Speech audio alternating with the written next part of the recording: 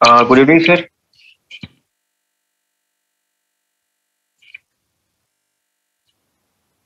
Uh, good evening, sir.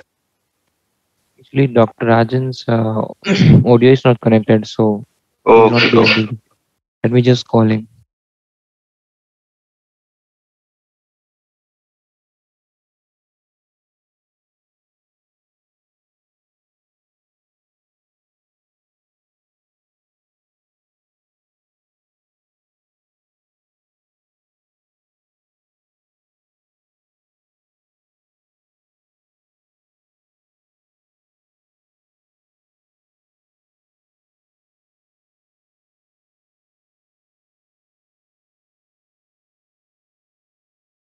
Yes, sir. Now your audio is connected. Can you able to hear us? Yeah. Uh, uh, am I audible? Yes, sir. You're audible and also visible. Okay. Uh, Uh, good evening, sir. good evening, Gaurav. How are you? Uh, fine, sir. Fine, sir. Okay. So, shall we start the presentation? As you say, sir, we are ready. Okay. Uh, we need uh, somebody who, who would like to discuss also. Uh, any case to after the case presentation by uh, Gaurav, uh, somebody can uh, discuss the history part, come to some conclusion. I will also help you to discuss the story, and then after the clinical uh, examination findings, we will have the final diagnosis, or rather, we'll have the provisional diagnosis, and with the help of ECG, X-ray, and echo, we'll come to the final diagnosis. So, uh, anybody who would like to discuss the case? I think we need volunteers to do it. Srinivasan, would you like to do it?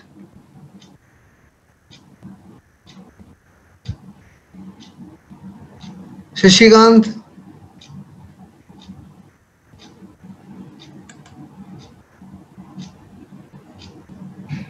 I think Hafiz is our best bet. Hafiz? I don't know. Hafiz? Are you there? Hafiz?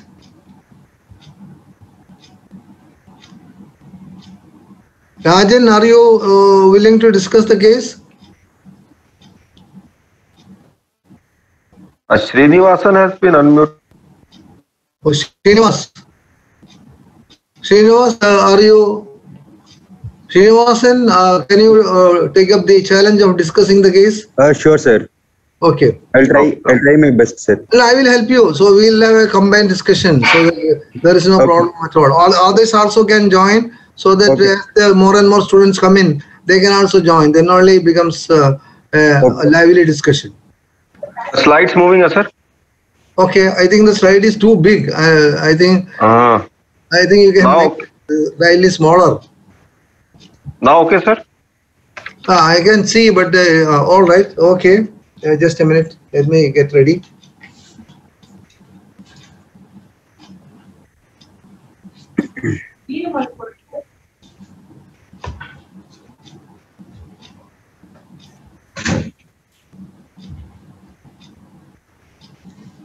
Okay, I am ready. So Yes, sir. yes, sir. Sir, Yes, sir. 30 With your permission, shall I start or? you start. You start. 35 years old female, unmarried, low Oh. middle class, socio-economic. Are Srinivasan, uh, I have to read. You will have to just uh, help. Okay. Uh, Hello. See, uh, Srinivas, what you have to do is that you can note down points in the story, and at the end of the story, you can uh, discuss the case. And Okay, step sir. by step, I will help you to discuss the case also. Uh, the history will be presented by uh, Gaurav.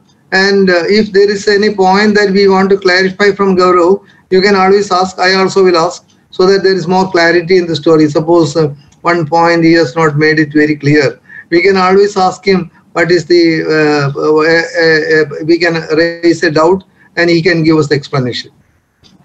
Uh, sir, Saroj madam has also joined, sir. Yes. Oh, Saroj is there. She also will be active in the discussion. Saroj madam. But good evening, ma'am. Saroj ma'am. Hello. let Srinivas discuss and then Yes, Saroj sir, yes, sir. can be part of it. Yes, sir. Srinivas, uh, from which institution are you? Uh, Stanley Medical College, sir. Stanley Medical College. Oh, Are you a final year oh, student? Srinivas. Hello. Which, which year are you, Srinivas? Uh, entering final year, sir. Oh, very good. Oh. Okay. I think you. I did my UG from Stanley, sir. Oh, great. UG. And okay, sir. Okay, Where Did you do your MD from? MD from Kanpur, sir. Kanpur. Kanpur. So you- are going all over the country. eh? Yes, sir. Yes, sir. North, south, east. Okay. Okay, right. Start. Yes, sir. Yes. Yes, sir. Thank you, sir. Sir, uh, uh, our patient is 35 years, unmarried female, uh, belongs to lower socio- socioeconomic group. She is a staff nurse at uh, Trichur Medical College, sir. And uh, she presented to our uh, OPD with chief complaints of dyspnea on exertion for past one year. Now NYHA class 3 for past for two months, sir. Fatigue and generalized weakness for past six months. Bilateral pedal edema off and on for past three months. Abdominal distension associated with facial puffiness off and on for past two months, sir. Okay. Oh, shall I? Shall we discuss on this, or we can go No, on? no, no, no, no, no. I will ask uh, uh, Srinivas, uh, uh, see Yes, from sir. the story, uh, what all things would you like to, uh, because 35 year old female has come with uh, certain symptoms. Uh, left uh, left inflow obstruction and uh, outflow obstruction too, sir. Why did you think of inflow? Uh, first of all, you have to think, is it a cardiovascular system disease? Sir, uh, because of dyspnea, fatigue, and uh, cardinal symptoms of uh, uh, heart disease are serious. So, edema, all those things uh, put together is most likely a cardiovascular system disease. cardiovascular. Side is affected, right side, left side, both sides. Sir, both si- it seems to be both sides, sir. Yeah, it is a both side, the boys side Yes. involved. Which side is affected first? Uh, left inflow, sir.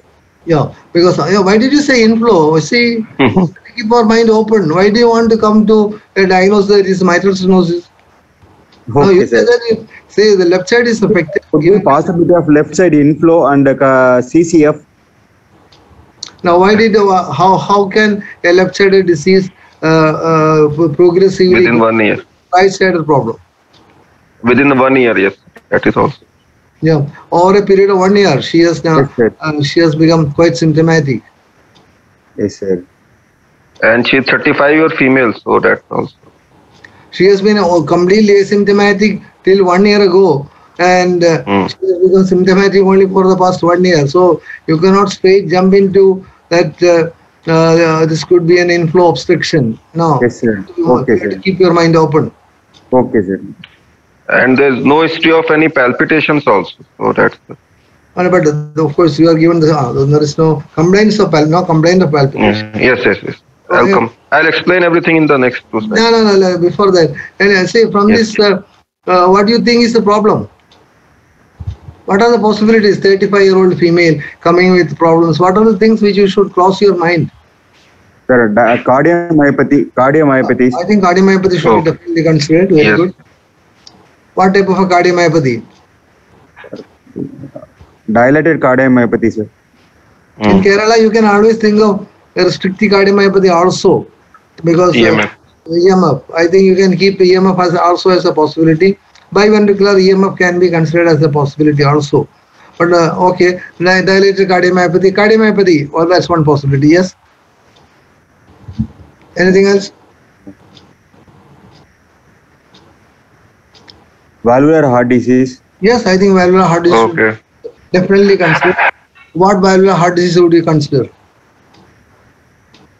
Uh, mitral stenosis, Yes, mitral valve disease, Mitral and valve disease can be considered. Uh, which, one, which one you think is more likely? Is it stenosis or or regurgitation? stenosis, sir. Stenosis. Why? Sir, um, in case of stenotic lesion, uh, uh, pulmonary vascular, pulmonary venous hypertension occurs, sir. Yeah. So, any patient will develop dyspnea, orthopnea. Yes. Only uh, only problem is that she is having uh, dyspnea only for the past one year.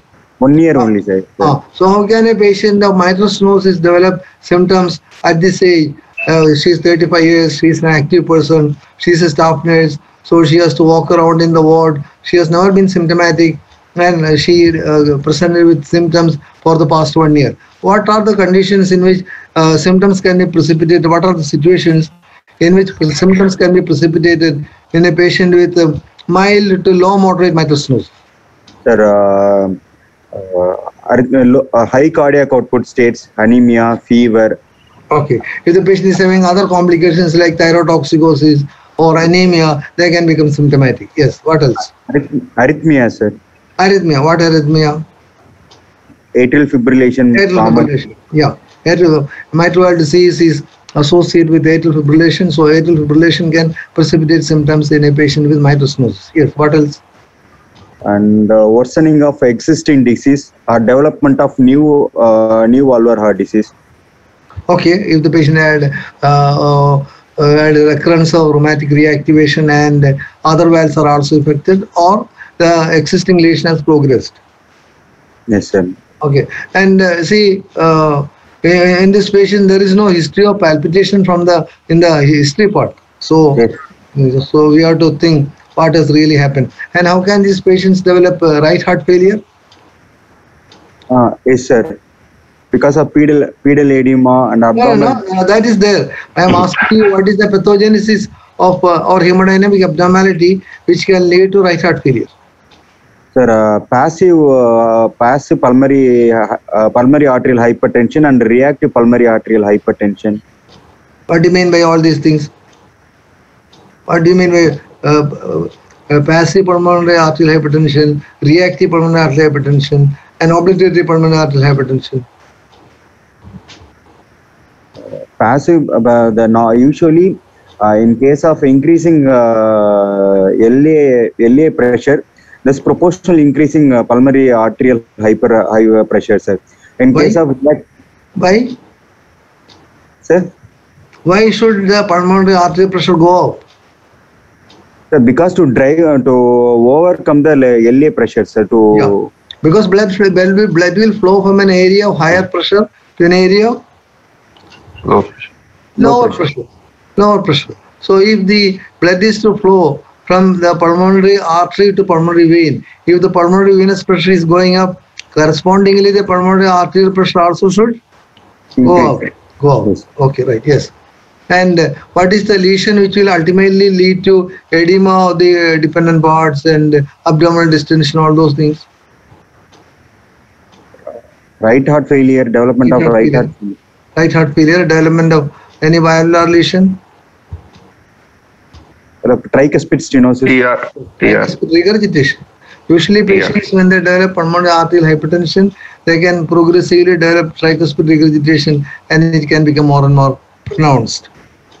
Okay, so you are thinking that this could be a, a cardiomyopathy or it could be a valvular heart disease. Anything else that you think? Viral viral myocarditis, sir. Yeah, I think that is to be definitely considered because she had symptoms only for one year and uh, she might have developed a uh, viral infection which might have affected the heart, resulted in viral myocarditis and progressive symptoms.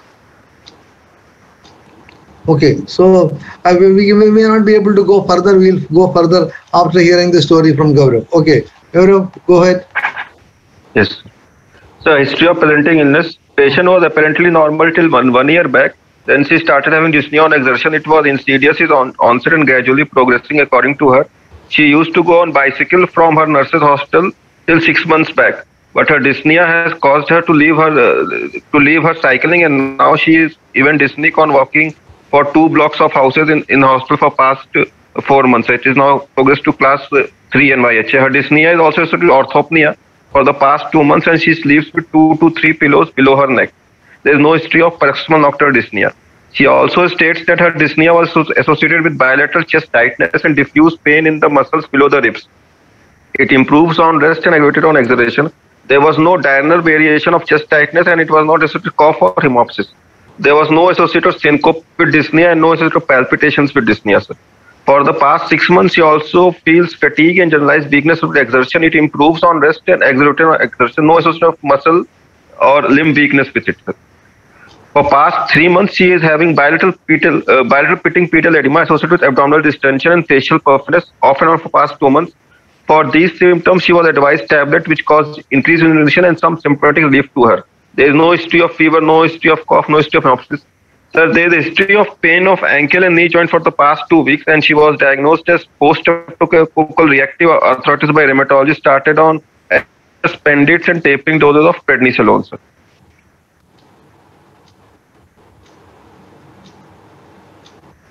Okay. Any any okay. point you would like to ask uh, uh, Gaurav uh, Srinivas? Any points that you would like to ask him? No, sir. No. Uh, I want. Uh, okay, that comes in the personal history. Uh, Is there any history Yes, of intermittent claudication? No, sir, no, sir, no, no claudication. Claudication and syncope are not there. no. No, sir. Because uh, uh, claudication of the upper limb, claudication of the lower limbs, any? No, sir, no, no, no, she has not given it. Uh, uh, Srinivas, is it important to ask that story? Uh, sir, uh, because of uh, peripheral arterial arterial disease, What peripheral arterial disease?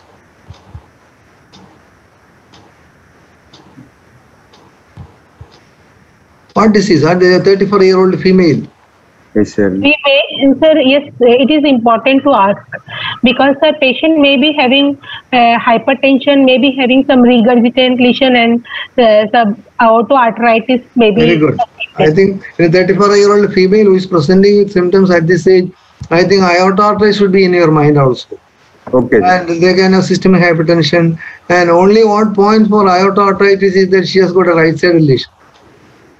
Because she has developed a right heart failure. That is not very common with aortoarteritis. That is the only thing. Aortoarteritis can have systemic hypertension, they can have breathlessness, they, they can have uh, claudication symptoms, and symptoms can occur at this age. All those things uh, are, uh, uh, are, are uh, possibilities, and hence we should clearly ask for history of intermittent claudication. We have to mostly ask for intermittent claudication of the upper limb. Rather than the lower limb, it should be more of the upper limb. And what are the uh, most important symptoms of aortoarteritis where there is obstruction to the subclavian artery to the upper limb? Srinivas, Yes, sir. The subclavian steel syndrome. Hill syndrome. syndrome. Very good. What is subclavian steel syndrome? Explain it.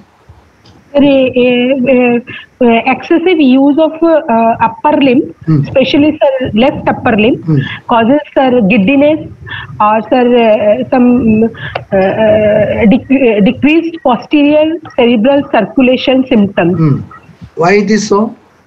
So this is because of the uh, uh, because of the excessive use of the left sub, left upper hand, the left subclavian artery, uh, uh, the blood flow uh, from the vertebral to the left subclavian due to a uh, sir, uh, the communication from the posterior circulation. Sir. Yes. Where is the usual site of obstruction in aortoarteritis? Sir, usually, sir, it is pre-subclavian, sir. Pre-subclavian. Uh, sorry, sir. No. Uh, uh, sir, no, no, sir. No. Pro- post-subclavian. Post-subclavian. What do you mean by post-subclavian? Auto- It is it is uh, just just uh, just after origin, sir. It is a sti- uh, aortic branches origin side, sir. Just one or two centimeter after origin. Usually it's either at the ostium or, Uh, stem of the uh, artery. Or it can be uh, very often one centimeter prior to the vertebral artery.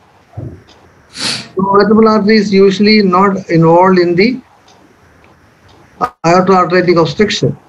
And that will result in when you exercise the, uh, the if the patient is having left subclavian artery involvement and when you are using the left upper limb, left upper, upper, upper limb needs more blood.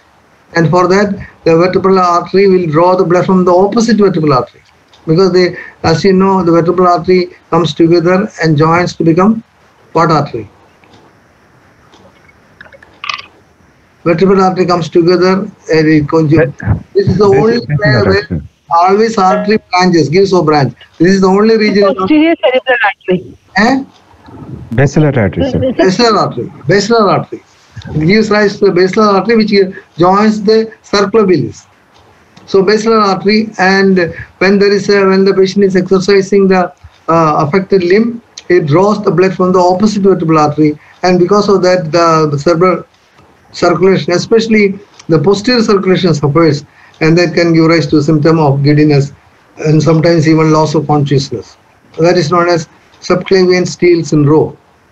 So he has said, in general, he has said there is no history of syncope, uh, but he has not specifically asked whether whether patient is feeling any any giddiness when you are asking the when you are using the left or the right upper limb.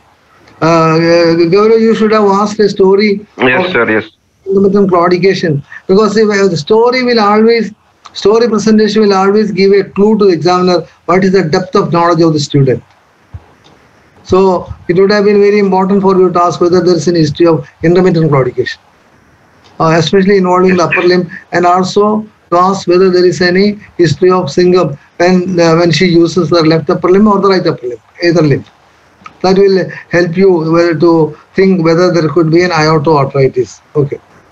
Uh, any other so any other points, Srinivas? We have to think of the differential di- diagnosis. No, sir. Anyway, we to hear the story also because there are two, three points which I want clarification. One is, of course, whether a patient had any uh, rheumatic fever in uh, early childhood. Second is that she is 34. That After- past history, I'm coming, sir. Past history, I'm coming, sir. Okay, I think past history. finish that so that we can discuss. No, no, no. Past history. Uh, past history is remaining, sir. Past history is remaining. Oh, yes, please. You continue with the past history also. Yes, sir. Yes, sir. Yes. Sir, at 15 years of age, she had a polyarthritis involving major joints and sore throat. She was treated symptomatically and advised for Pentids tablet, which which she took for a few months only, and then stopped it ab- abruptly without any consultation. Sir. So she uh, she is she is hypothyroid for past 10 years, type 2 diabetic for past two, five years, obese for 10 years, mood disorders for four years, and history of PCOS for past 10 years. Sir. There's also history of uh, allergic bronchitis on on on she's on inhalers on SOS basis. The treatment history for the past 15 months she has consulted many doctors for dyspnea and other symptoms. She was diagnosed as uh, uh, post-septical reactive arthritis by rheumatologist. Started on HCQS Pentids and tapering steroids. History of mood disorder was there, and she was started on haloperidol and sodium valproate also. She was diagnosed as, as OSA by a private physician after sleep study, and her apnea index was 5 to 10, which was mild. For PCOS, for PCOS, she is taking metformin and mefenamic acids for the pain relief. There is no history of any anti-obesity drugs. Antenatal history, sir. She is the second second child born of a non-consanguineous full-term normal normal delivery at a private hospital. Cried immediately. Next year discharged. No history of major childhood illness or hospitalization in childhood. Family history: her father died of a cardiac arrest at home at 65 years of age. Her mother is a retired nursing superintendent from Government Medical College General Hospital, sir. Elder brother is in software lines. Personal history: menarche uh, attained at 18 is uh, sorry 13 years of age. Irregular cycles with painful menses of three years uh, of three days on mefenamic acid SOS. Sir. Coming on to summary, sir, 35 No, year no, female. no, no, don't, don't summarize. A few points I want to ask you. Why did you say that she belongs to a low socioeconomic status? Because No, no, no, no, so no. Uh, uh, I I told uh, uh, she must be in the middle income group because her mother is the lo- nursing superintendent. middle class, middle class, middle class only, middle class only. Now I want to ask you, Middle why class. is that she did not get married? Did you Uh, ask is, her uh, why she did not get married? Actually, sir, she had mood disorders, obesity, many problems are there, sir. So She she, is having so much treatment. so, so She is having so much. She is Oh. having so much of, uh, uh, so much of. Uh, so she, she is having hypothyroid, obesity, mood disorders, PCOS, and many problems is going on in home. oh, Uh, the- her father also. the, the, all these problems were there uh, when she was in Mm. her in her early twenties. Yes, sir. Yes, sir. Yes, sir. She's obese for past 10 years. Mood disorders, PCOS, uh, hypothyroid, diabetic, hypertension. I I forgot to write hyper yesterday. Yesterday, in very fast, I made this uh, hypertension also for, for five years. Sir. Oh, So she has many problems, uh, and her father also died recently. She appears to be in uh, low mood. That's why I also didn't ask for personal question. Oh, okay. All right. So, uh, because see, I was surprised that somebody who is uh, belonging to this family background did not get Mm. the correct time. Yes, sir. Usual. Mm. And also, usually staff nurses are reasonably paid, and then the family sir. also is reasonably all right. The brother is in the IT field, so Mm. all all put together, definitely she belongs to a middle income group. Mm. Yes, sir. And she actually me- mood disorder. She was uh, diagnosed with bipolar disorder also. That's why she was on Oh, I valproate also, sir. Okay. She has taken so much of treatment. Okay. Srinivas, uh, further discussion. The summary I shall put and then we can discuss the summary. Okay, you put the summary. As a 35-year female, unmarried staff nurse, uh, dyspnea, like, uh, dyspnea for one year, now NYHA class 3 for past three months. Orthopnea is present, uh, PND absent, generalized fatigue and weakness for six months, pedal edema, abdominal distension for three months, history of uh, uh, post-streptococcal reactive arthritis, hypertension, obes- obesity, PCOS, mood disorder, OSA, allergic bronchitis, and multiple doctors visit for increasing effort tolerance for the past three months. And she is on and off, off on multiple drug treatments. Okay. Okay. Uh, uh, yes, uh, uh, Srinivas, you discuss now. Yes, sir, uh, could be the possibility of uh, uh, cardiomyopathy, sir. No, no. See, I would uh, start with because she gives a history of polyarthritis uh, when she was young, and she was put on um, um, penicillin tablet from by by a doctor who examined her at that time. So, what is that episode like? According to you, from the description, whatever is given to us, what do you think would be the type of uh, uh, uh, the uh, what would be what would you think would be the uh, the uh, diagnosis of the polyarthritis diagnosed as uh, put on penicillin uh, prophylaxis? So what do you think would be the possibility? There could be rheumatic etiology also, yeah, so, no we, we can think that the, uh, at that age uh, the, the examining doctor thought that it is a, a rheumatic fever and was he initiated on treatment and patient uh, conveniently discontinued the treatment Yes, sir. so the rheumatic fever which valve is most frequently affected Mitral valve is most mitral valve followed by followed by aortic valve. sir. aortic valve and, and then tricuspid valve and pulmonary valve involvement is extremely rare. Yes, sir. So, uh, in females, what is the usual uh, mitral valve involvement in, uh, in rheumatic fever? MS, sir. MS, mitral stenosis. They can have MR also, but mitral stenosis is more frequently met and also more frequently seen in females. Yes, But sir. so if it is a, a mitral stenosis, then a very important symptom that you will expect the patient to have is what is the important symptom of mitral stenosis? TND. PND, paroxysmal nocturnal dyspnea. That obviously is absent. So Yes, if sir. you are thinking rheumatic fever then and rheumatic valve involvement, you have to think how can a patient of mitral stenosis can be without uh, a paroxysmal nocturnal dyspnea. Because of development of right heart failure, patient doesn't have PND. I think so, sir. Yeah, if the patient is having a right right-sided valve involvement, especially tricuspid valve involvement, uh, the patient is having tricuspid stenosis, tricuspid regurgitation, along with mitral valve invo- involvement, then the patient may not have a symptom of paroxysmal nocturnal dyspnea. Whenever there are multiple lesions involved, the proximal lesion will always manifest. That is the principle. If the patient is having VSD and ASD, what lesion will manifest? Sir, uh, if the patient is having VSD and a atrial septal defect, out of these two lesions, which will uh, which will manifest? Is it the VSD will manifest more or the ASD will manifest more? don't know, sir. Uh, Saroj, ASD will manifest more.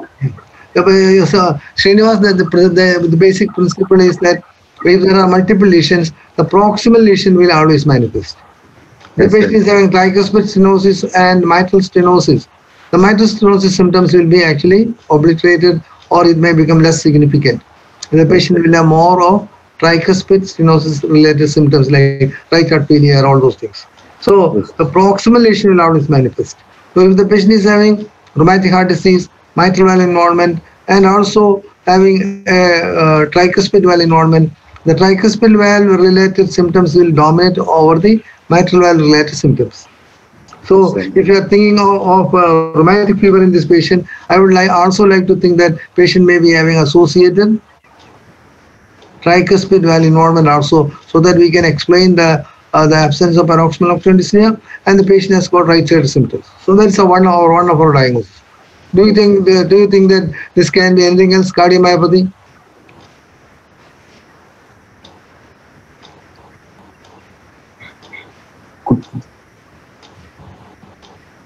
Could be, sir. Because of uh, low cardiac output state, fa- fatigue and weakness is there. Yes. And uh, congestive cardiac failure symptoms are uh, pedal edema and abdominal distension is there, sir. Okay. Uh, so usually cardiomyopathy affects the left ventricle more frequently or the right ventricle or both? Which Left ventricle is eh? Left ventricle, sir. left ventricle? Mostly, mostly myocardial involvement, especially myocarditis or post myocarditis, uh, cardiomyopathy, or uh, uh, uh, many forms of uh, dilated cardiomyopathy. They affect mainly the left ventricle, but the right ventricle also can be involved. But the left ventricular involvement is more prominent. They can have paroxysmal nocturnal dyspnea, exertional breathlessness, exertional fatigue. All those things can be there. Okay, so uh, so that is another possibility. Is there any any other possibility which is striking your mind? One very common at this age. One another, another, another. She's having obesity. She has got a um, Metabolic, metabolic syndromes. lot, lot of a lot of abnormalities. OSA, all those things are there. So, what do you think that you should consider uh, something which is mostly affecting the right side of the heart? And she uh, and she has gone many doctors also for increasing effort tolerance. Sir. She is not able. That is her. Yeah, because see, if the patient is also having a valvular heart disease and is generating a murmur, all the doctors would have immediately picked it up. So obviously, uh, she's no, she is not having any loud murmur. So can you think of And she Pulmonary and she hypertension. a- Yeah, yeah. I think you should Yes. consider pulmonary artery hypertension. Even Yes, sir. Yes. primary pulmonary artery hypertension also should be kept in mind. Because see, she has got Yes. uh, primary pulmonary artery hypertension sometimes can present as the, so not sometimes, but the most prominent symptom of uh, uh, significant pulmonary artery hypertension, uh, maybe primary or maybe uh, maybe uh, thromboembolic, is uh, exertional breathlessness. They will Yes. not have paroxysmal nocturnal dyspnea, but they can have significant exertional dyspnea, they, uh, Yes, breathlessness, so, significant reduction in effort tolerance, and they can have right heart symptoms also. So I think uh, uh, pulmonary artery hypertension uh, uh, may be primary or maybe due to multiple metabolic disorders also should be strongly considered as a possibility. Okay, uh, so that's another another possibility. Any other possibility? Do you think that is aortoarteritis? She has got systemic hypertension. Yes, sir. Possible. It could be, sir. Yeah, I think this age you have to uh, keep in whenever a woman is coming with hypertension, uh, you must I can always keep in keep a possibility of whether it is uh, uh, uh, aortoarteritis because more common in females. And but from the story there is nothing uh, to uh, for us to conclude that this could be arthritis because there is no issue. So, she was she was able to do bicycling, sir. So that till six months back she was able to do the bicycling. She was on going on cycle from her hostel to the to the nursing. Yeah, So-. See uh, that only. See, cycling usually the lower limb is less. Uh, Of course, it can be affected, but less frequently affected. And initial involvement is mostly a subclavian artery on both sides, and Okay. symptoms will be more in a patient with aortoarteritis. So, uh, cycling uh, without any intermittent claudication may not be a point against, but uh, there is there are no other points for us to strongly consider as a possibility. So we'll keep this slightly low in the list. Then definitely we'll keep this as a possibility in a 34 year old female, and we will carefully look for all the pul- pulsations to make it certain that we are not missing any aorta arthritis. Okay. So any other th- any other condition? Srinivas. Uh, sir, um, rheumatoid, uh, rheumatoid problem, sir. Yeah, rheumatoid. What is the cardiac involvement in rheumatoid? Restrictive cardiomyopathy, sir. Uh, con- con- constrictive cardiomyopathy, sir. Then very late. It can happen they, when they develop pericardial effusion and pericardial effusion heal, and they can uh, rheumatoid pericardial uh, involvement can uh, sometimes progress to constriction. But uh, when you think of rheumatoid, the involvement is usually valve involvement. And what is the valve involvement in rheumatoid?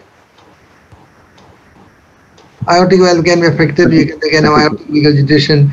The mitral valve can be affected. They can have mitral regurgitation, and uh, uh, they can have pericardial involvement also. Pericarditis can also happen. But usually these lesions are not to start with not very severe. So the patient develops symptoms of uh, over a month she deteriorated and all. I would consider rheumatoid uh, valve heart involvement will keep quite low in the list. Yes, sir. Any other condition that you would like to bring into bring in and discuss? Gaurav, would you like to uh, suggest any discussion? Any other other than what we thought? Uh, sir, uh, Do you, uh, do you think uh, that sir, I put disease? Uh, see, because always coronary disease should be in our mind, especially she has got lot of uh, associated symptoms. Do you think that this could be uh, uh, coronary disease?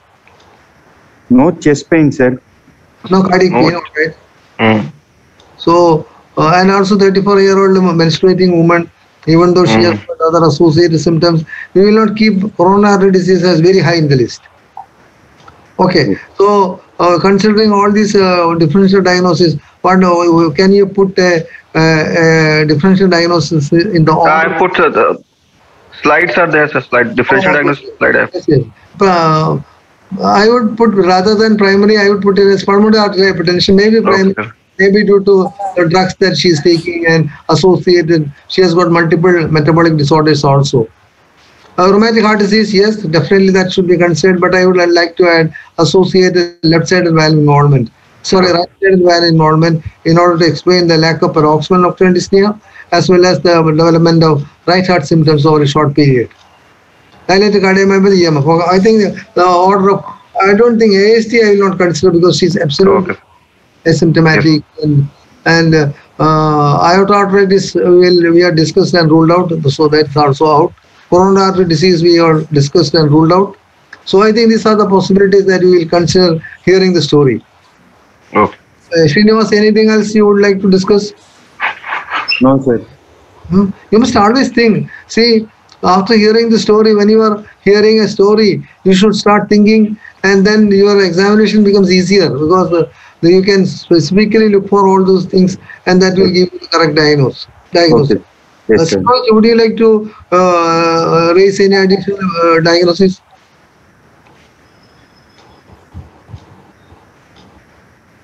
Okay, I think we will stick to this. And uh, would you like to accept the order which uh, uh, Gaurav has uh, pointed out, or would you like to alter the order? Only thing I would like to, if it were to order, is that whether I should bring up this uh, myocardial fibrosis to slightly higher level. okay. Oh, the rheumatic heart disease is sir, incidence has decreased, sir. That's why I put it down. Sir. EMF incidence has decreased. Okay, oh, okay, okay. Okay. The incidence of EMF definitely is coming down in Kerala, but I think uh, whenever there is a right-sided involvement, involvement, uh, I think EMF can always be a part of the diagnosis. So uh, I'll ask one question, uh, uh, Saroj, what are the conditions that you will think about when somebody is having a right-side involvement? Yes, sir. somebody is presenting with right right symptoms, then you, you should have a, a stock of conditions that you will keep in your mind as a differential diagnosis. Uh, sir, uh, first of all, sir, uh, I will consider, uh, sir, mm, mm, right heart involvement secondary to the left heart involvement either. No, no, or no. No, no, question is um, only right heart symptoms. So you have to tell me conditions where you can you can get in the examination kind of a patient with right right sided disease only. So enumerate the conditions. Sir, like congenital heart disease, Ebstein anomaly, Very good. Ebstein anomaly should be always in your mind. Patients with uh, uh, patients with the Ebstein anomaly may may not get detected in early childhood because the murmur may not be very striking, and the patient may continue to lead a normal life, and they may become symptomatic in the fourth or fifth decade. Yes, Ebstein's anomaly. Two. then RV cardiomyopathy, Very good. RV and endomyocardial fibrosis is a strong possibility, that should be kept, especially in Kerala, because uh, he's from Trichur. So in Kerala, I think you should always think about the possibility of RV endomyocardial fibrosis. Very good. Yes. sir, pulmonary arterial hypertension, Very good. Any cause, pulmonary arterial hypertension due to any cause, primary pulmonary arterial hypertension, thromboembolic. I think that should be kept in mind. Very good. Then constrictive pericarditis, Yes, constrictive pericarditis patients present with pure right heart failure. Some of them may present mimicking gastrointestinal symptoms. And then when the gastroenterologist examines and finding the JVP is grossly elevated, the patient may be referred to the cardiology department. Very good. Then different valvular involvement due to the different cause, Yes. like uh, carcinoid syndrome causing Right heart, right, right side valve involvement. Either may be due to rheumatic heart disease itself, Yes, carcinoid syndrome, uh, or uh, infective endocarditis affecting the right side of the valves. All those things should be in your mind when you are Yes, thinking of the possibility of mostly right heart disease. yes, sir. So here we have to consider two uh, two important things: primary pulmonary arterial hypertension and endomyocardial fibrosis, and also rheumatic heart disease, where the uh, the right-sided valves are also affected. Do you think that we should consider constrictive pericarditis in this patient? Uh, Sir, I was thinking, but sir, there is no history of uh, uh, continuous fever. And may not be there. Uh, see, uh, sometimes some viral infection which has caused uh, uh, transient pericardial involvement, sometimes later can present with uh, uh, constrictive pericarditis. Always you need not get a history of long fever, diagnosis of tuberculosis, taking treatment for tuberculosis pericarditis. All these things need not be there. So you can keep your mind open because see, we, need, we, we should not miss a diagnosis. So we'll keep a bit low in the list. A diagnosis of, we would like to rule out a possibility of constrictive pericarditis also. Okay. Yes, sir. Uh, then, sir, uh, if I am thinking of right-sided, sir, uh, like, sir, uh, sir, sir, though uh, not very uh, common, sir, uh, uh, uh, sir, um, uh, sir, tumor, if I can. mm, This yeah, age, uh, yeah, you can you can consider tumor. What tumor are you considering? Sir, myxoma. Very good. Uh, Uh, RM myxoma can be considered because see, after all, tumors can present with the right heart failure. So you have to keep your mind open. Uh, uh, right atrial myxoma or a lipoma in the right atrium can present with grossly elevated jugular venous pressure. They can have obstructive symptoms. They may present with right heart failure. I think, but the, quite uncommon. So keep low in the list. Don't put it as Yes. very high in the list. That can also be considered. Yes. ASD also can be considered in most. Genetic heart disease. Here she is absolutely asymptomatic till the age of 30 and then suddenly diagnosing a large ASD is very unlikely. And also most important point is that she became grossly symptomatic over a period of one year. yes, sir, yes. That has to be strongly, that, that, the- so you have to think of a condition where that uh, uh, rapid progression of symptoms can be explained. Or, uh, or the patient should develop a complication like infective endocarditis or an, uh, an arrhythmia which has suddenly precipitated symptoms. But all these conditions, uh, Srinivas, which you think can uh, have fit in with the rapid deterioration of her symptoms? Srinivas. And mostly in last six months, sir. Mostly in last six months. Yes. Over, over a year. She has been symptomatic over a year. Yes. But she rapidly deteriorated over a period of six months. Six months, yes. hypertension, sir. Eh? The pulmonary hypertension can be Yeah, considered. I think primary pulmonary artery hypertension is a strong possibility when you take the point that she has quickly deteriorated, deteriorated over a period of one year. Yes, sir. Uh, uh, Srinivas, how can there be breathlessness in a patient with right-sided heart disease, primary pulmonary artery hypertension? How can there be breathlessness? Sir, uh, reduce uh, reduce cardiac output. Uh, so hypoxia it stimulates the respiratory centers. So, so patient develop a dyspnea, sir. Okay. Hy- One is one is uh, uh, reduced cardiac output, and uh, that uh, that can result sometimes in respiratory uh, stimulation. And another is when there is a low cardiac output, there can be ischemia to the respiratory muscles, and the respiratory muscles will be felt as dyspnea. Okay, very good. acidosis can also cause, sir. Which one? The respiratory acidosis is happens. Oh, that should be very low cardiac output. That's a bit unusual. That is very, very, very severe. Uh, uh, uh, the problem should be very, very severe. Even before that, patient can develop uh, b- breathlessness as an important symptom. What is a one important symptom which is missing in this patient? Syncope, sir. Syncope, syncope is missing. Exertional syncope is not there. Uh, usually, patients with uh, uh, what maybe because she is uh, restricting her activity because Yes, of sir. dyspnea. So she did not deteriorate to the stage of developing exertional syncope. There are many multiple mechanisms by which uh, the patient with the right-sided disease can have dyspnea as an important symptom. you should always uh, read about it because uh, almost always examiners will definitely ask you what are the what are the mechanisms by means of which a right side heart disease patient can present with dyspnea as a symptom. They will not have, they can even orthopnea, but they will not have paroxysmal nocturnal dyspnea. Uh, Saroj, would you like to uh, enumerate the uh, conditions or the uh, situations which can lead to dyspnea as an important symptom in a patient with right-sided heart disease? Yes, sir. Uh, sir, uh, if right-sided heart disease, the patient has got a, may have a ascites. As a result, the patient can have a dyspnea, uh, but uh, no, uh, the, sir, up to orthopnea, but may not have PND.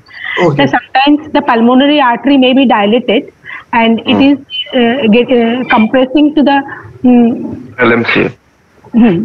and uh, LMC, it cannot compress the LMC, it can compress the bronchus because the pulmonary artery goes with the bronchus yes, sir. yes, sir. unless there is a coronary anomaly. If there is a coronary anomaly, yes. If, uh, there, if there is no coronary anomaly, the dilated and the hypertensive pulmonary artery branches can compress upon the bronchus and can narrow the bronchus and the patient can develop breathlessness. Okay, right, yes. And sir, in the beginning, uh, doctor told about that decreased cardiac output, and then sir, patient may get the uh, breathlessness because of the uh, low output uh, and uh, sir fatigue to the respiratory muscles. Very good, yes. And sir, then sir, uh, respiratory centers uh, are stimulated because of if hypoxia has developed. Sir. Mm, hypoxic. uh, Hypoxia can stimulate the respiratory center. Okay. Uh, Gaurav, would you like to uh, take uh, from this point and mention three or four conditions where there can or the One is sir, hypoxic uh, cardiomyopathy is also defined. Hypoxic cardiomyopathy. Okay. uh, Exactly. that of course is usually described in in uh, COPD. Patients with COPD, when they develop right side heart failure, they can also develop ischemia to the to the uh, LV, and that can also progressively deteriorate the functioning of the LV, and they can have a picture similar to uh, uh, cardiomyopathy involving the left ventricle.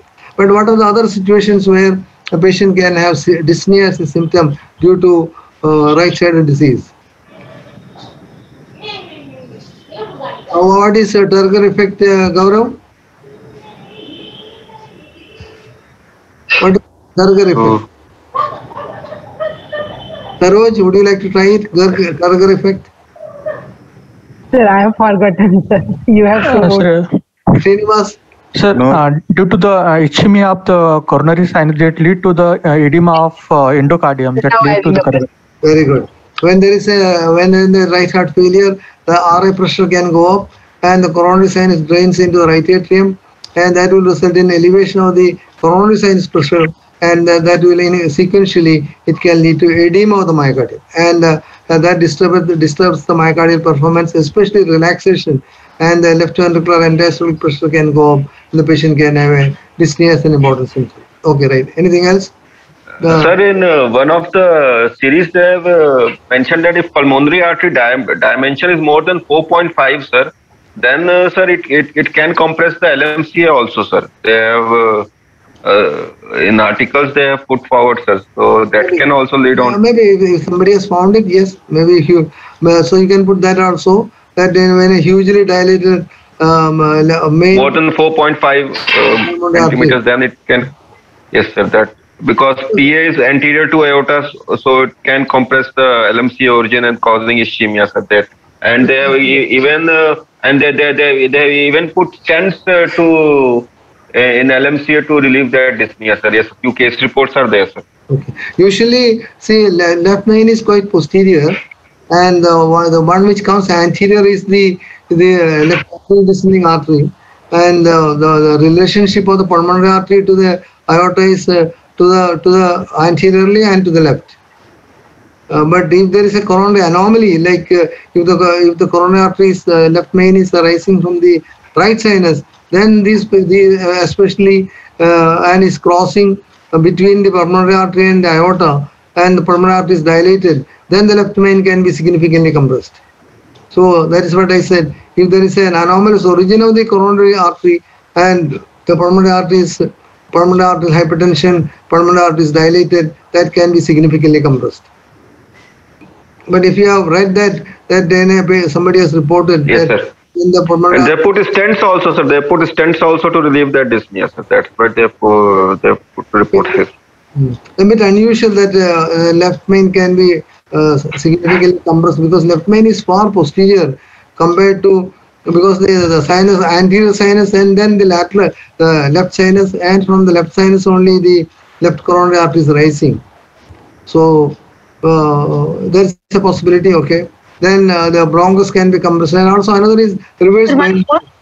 The reverse Bernheim effect. Yes, reverse Bernheim effect, which uh, can en- encroach upon the cavity of the left ventricle and it can impair the D-shaped dilatation of the left ventricle and diastolic function can be compromised. Yes.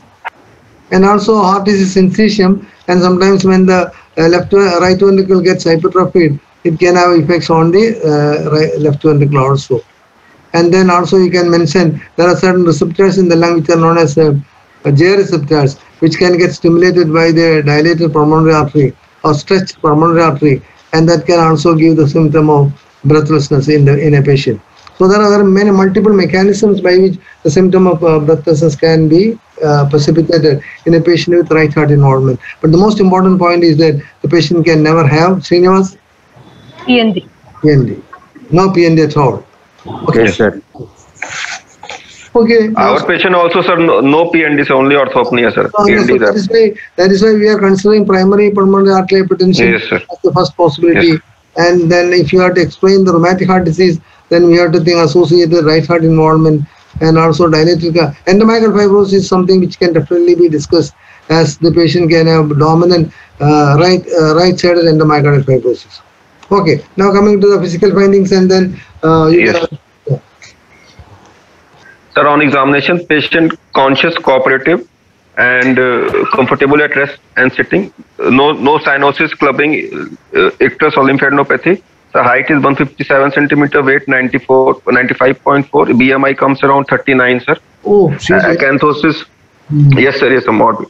Acanthosis nigrans is present. Palatal pitting, pedal edema present up to the shins are grade 2. Abdominal distension and facial puffiness is present. Uh, vitals are temperature 98.3 Fahrenheit, pulse 80 per minute, regular low volume, felt in all peripheral vessels, no radio radiofemoral delay.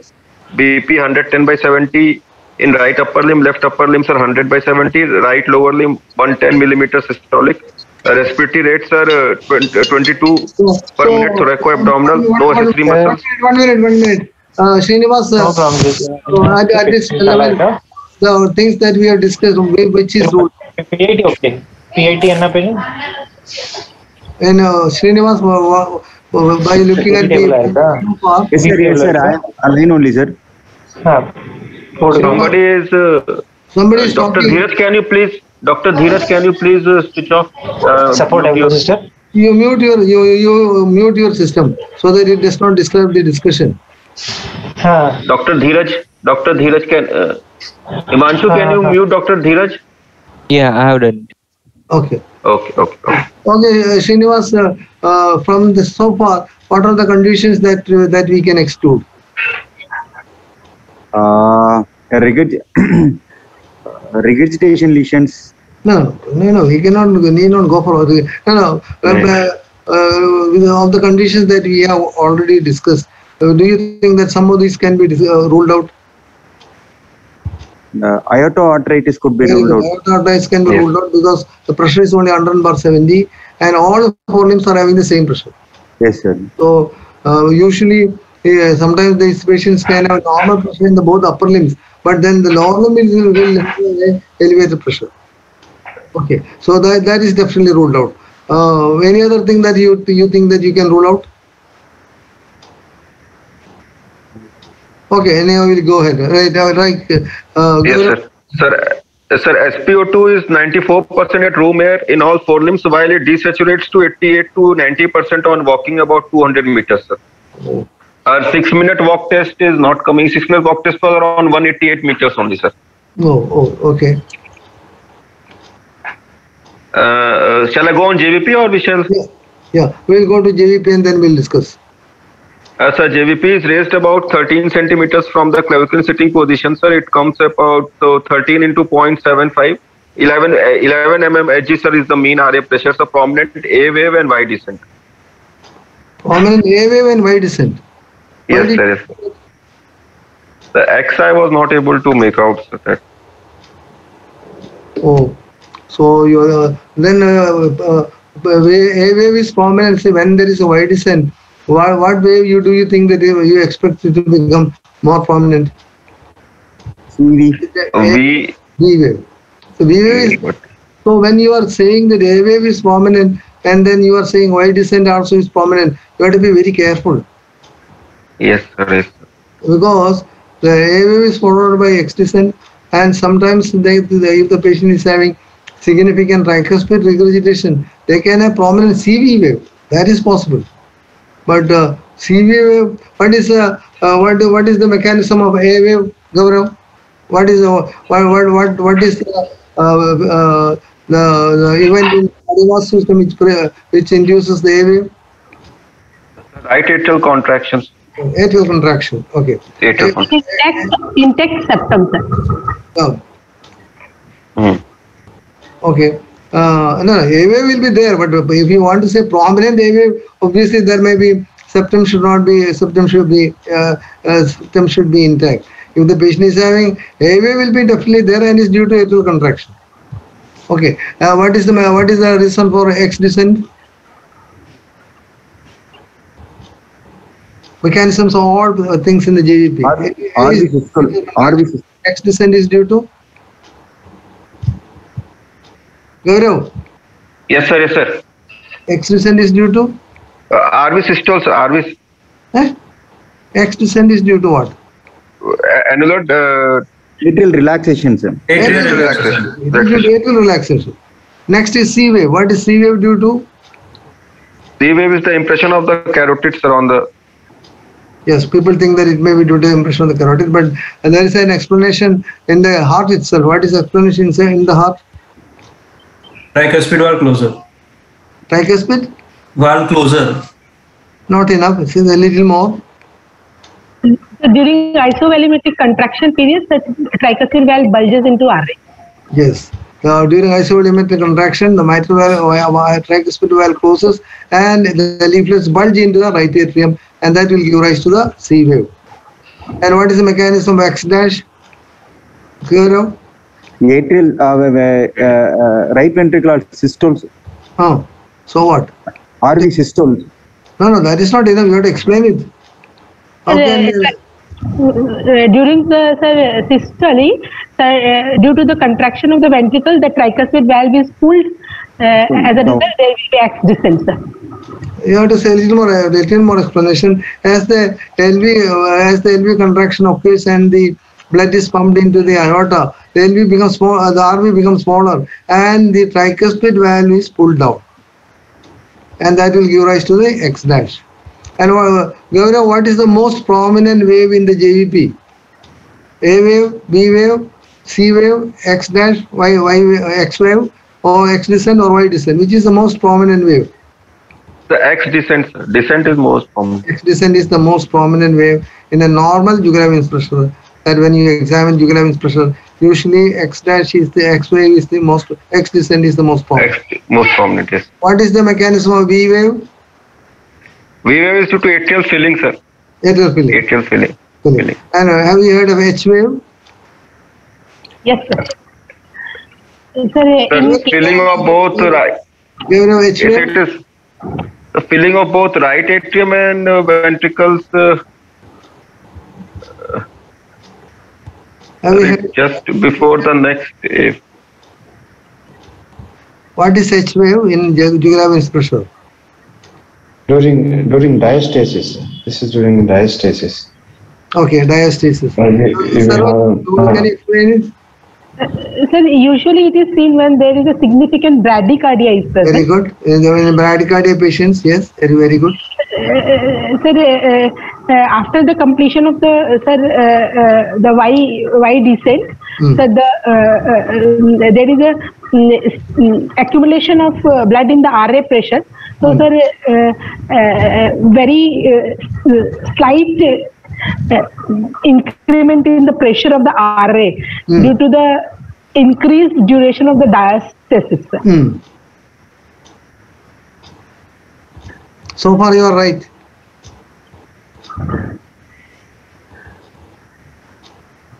Saroj? Yes, sir. Yes, sir. Uh, the- uh, sir, it's uh, on the name of some. mm, uh, Oh, don't worry. Uh, H wave is the name Specialist. of the person whose first letter is H. I think it's some H. Kurds or some German. so that much I. The rest I don't know, sir. No, no. So, see what happens here. Anybody would like to explain it? Srinivas, would you like to explain it? Anybody? Uh, no, sir. Anybody who would like to explain H wave? Gaurav? No, sir. H wave, sir. uh, That's just before the A wave, so that's only I remember. It is just Okay. coming before H the A wave, wave. as uh, Saroj has rightly mm, uh, stated, H wave occurs in patients who have got a bradycardia, and usually it occurs in the late part of the diastasis.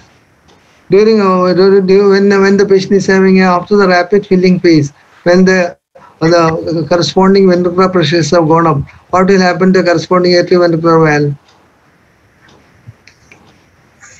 when the when the ventricle is rapidly filled and there is a rapid rise in the pressure in the ventricle during early part of diastole, what will happen to the corresponding atrial ventricular valve? It may open in diastolic PR, sir. Yeah, it will float back and almost Yes, can come to the closer position. May not close, but Yes. come very close to the closer position.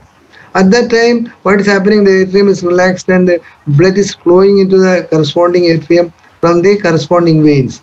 Inferior and superior vena cava drains into right atrium, and the pulmonary veins drain into the corresponding left atrium. And when they drain into corresponding area, the, uh, as uh, Saroj has rightly pointed out, the pressure in the atrium slightly increases, and that makes the valve to open again, and the blood flows again into the corresponding ventricle. That will give rise to a small, smooth, uh, uh, positive wave, which is known as the H wave. This occurs in patients who have got uh, uh, significant bradycardia, and it occurs in the second half of the diastasis and this has got no special significance. It can be a question which can be asked to the candidates whether have you heard of H wave or not. So some of the examiners, when you are answering all questions, the examiners have to ask a question which you are not able to answer, and so that will uh, so that is the time when they will ask about H wave. If they have asked about H wave, that obviously means that rest of things you have done extremely well. So H wave is a wave which is seen as a positive wave, which is seen in the jugular in the, uh, in the right atrial tracing, especially in patients with bradycardia, and it is in the second half of the diastasis and is secondary to the atrial filling and further opening of the atrioventricular valve during the late half, late part of the uh, diastasis. And it's a very, very smooth positive wave. Okay, so uh, H wave you cannot see in the by bedside examination, but the examiner can ask you about the H wave and what is it. Okay, right. So uh, jugular venous pressure column, uh, we have to keep the uh, your description that the A wave is prominent and there is a prominent Y descent. Right descent. That we have to. How do you make out A wave and V wave in the carotid in the jugular pulsation? So by feeling the by ta- time, timing the cycle, sir. By timing the cycle, sir. Time in the cycle. Wow, You will time With- With uh, S1, sir.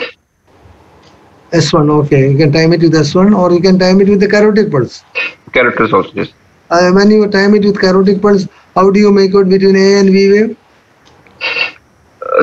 Sir, just before the carotid is A, sir. Just Okay. before the Carotid is A. yes.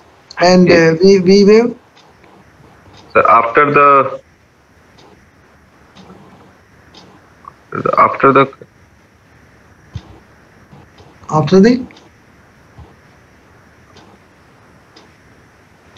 just with the S2. If it comes with the S2, is the V wave, sir. No, the, the, the top portion of the V wave will correspond to S2, but uh, it is after the carotid pulse. The one, the the pulse, yes. the wave which occurs before the carotid is the uh, A wave, and the one which occurs after the uh, uh, carotid is the V wave. Uh, uh, sorry, Y, y descent. Sorry, V, v wave. Uh, can you tell me uh, a few conditions where V wave can be very prominent? SNTR, Here, tricuspid triggers, TR, sir, tricuspid regurgitation, sir. Yes, yes, yes. What else? Sir, in uh, failure, right heart failure, No, there the uh, JEP will be elevated, but uh, I'm asking a question. Conditions where V wave is very prominent. There are five conditions. You have to mention all. it's a TR, AST, sir. TR, ASD. AST. No, no, AST, sir, in the uh, TAPVC, sir, TAP, anomalous pulmonary venous connection leading on to increase in the uh, Anomalous pulmonary venous connection will not give rise to prominent V wave. Gerbode defect. Gerbode defect, very good. Uh, so, some, mm, mm, so any cause of uh, uh, pulmonary Increasing blood- hypertension with TR, like sir, in case of core pulmonal also we can get. Ah, yes, yes, no, no, that we have already mentioned. TR can give rise to prominent. Eh, but There are multiple reasons for TR. That is over. So we have said about TR. So now you said about Garbody defect where there is an LV to RA shunt. Yes, what else? Sir, ostium primum ASD. Okay, ostium primary ASD or First term, second yes. ASD with mitral regurgitation. Yes, sir. ASD with mitral regurgitation. Okay. Fourth.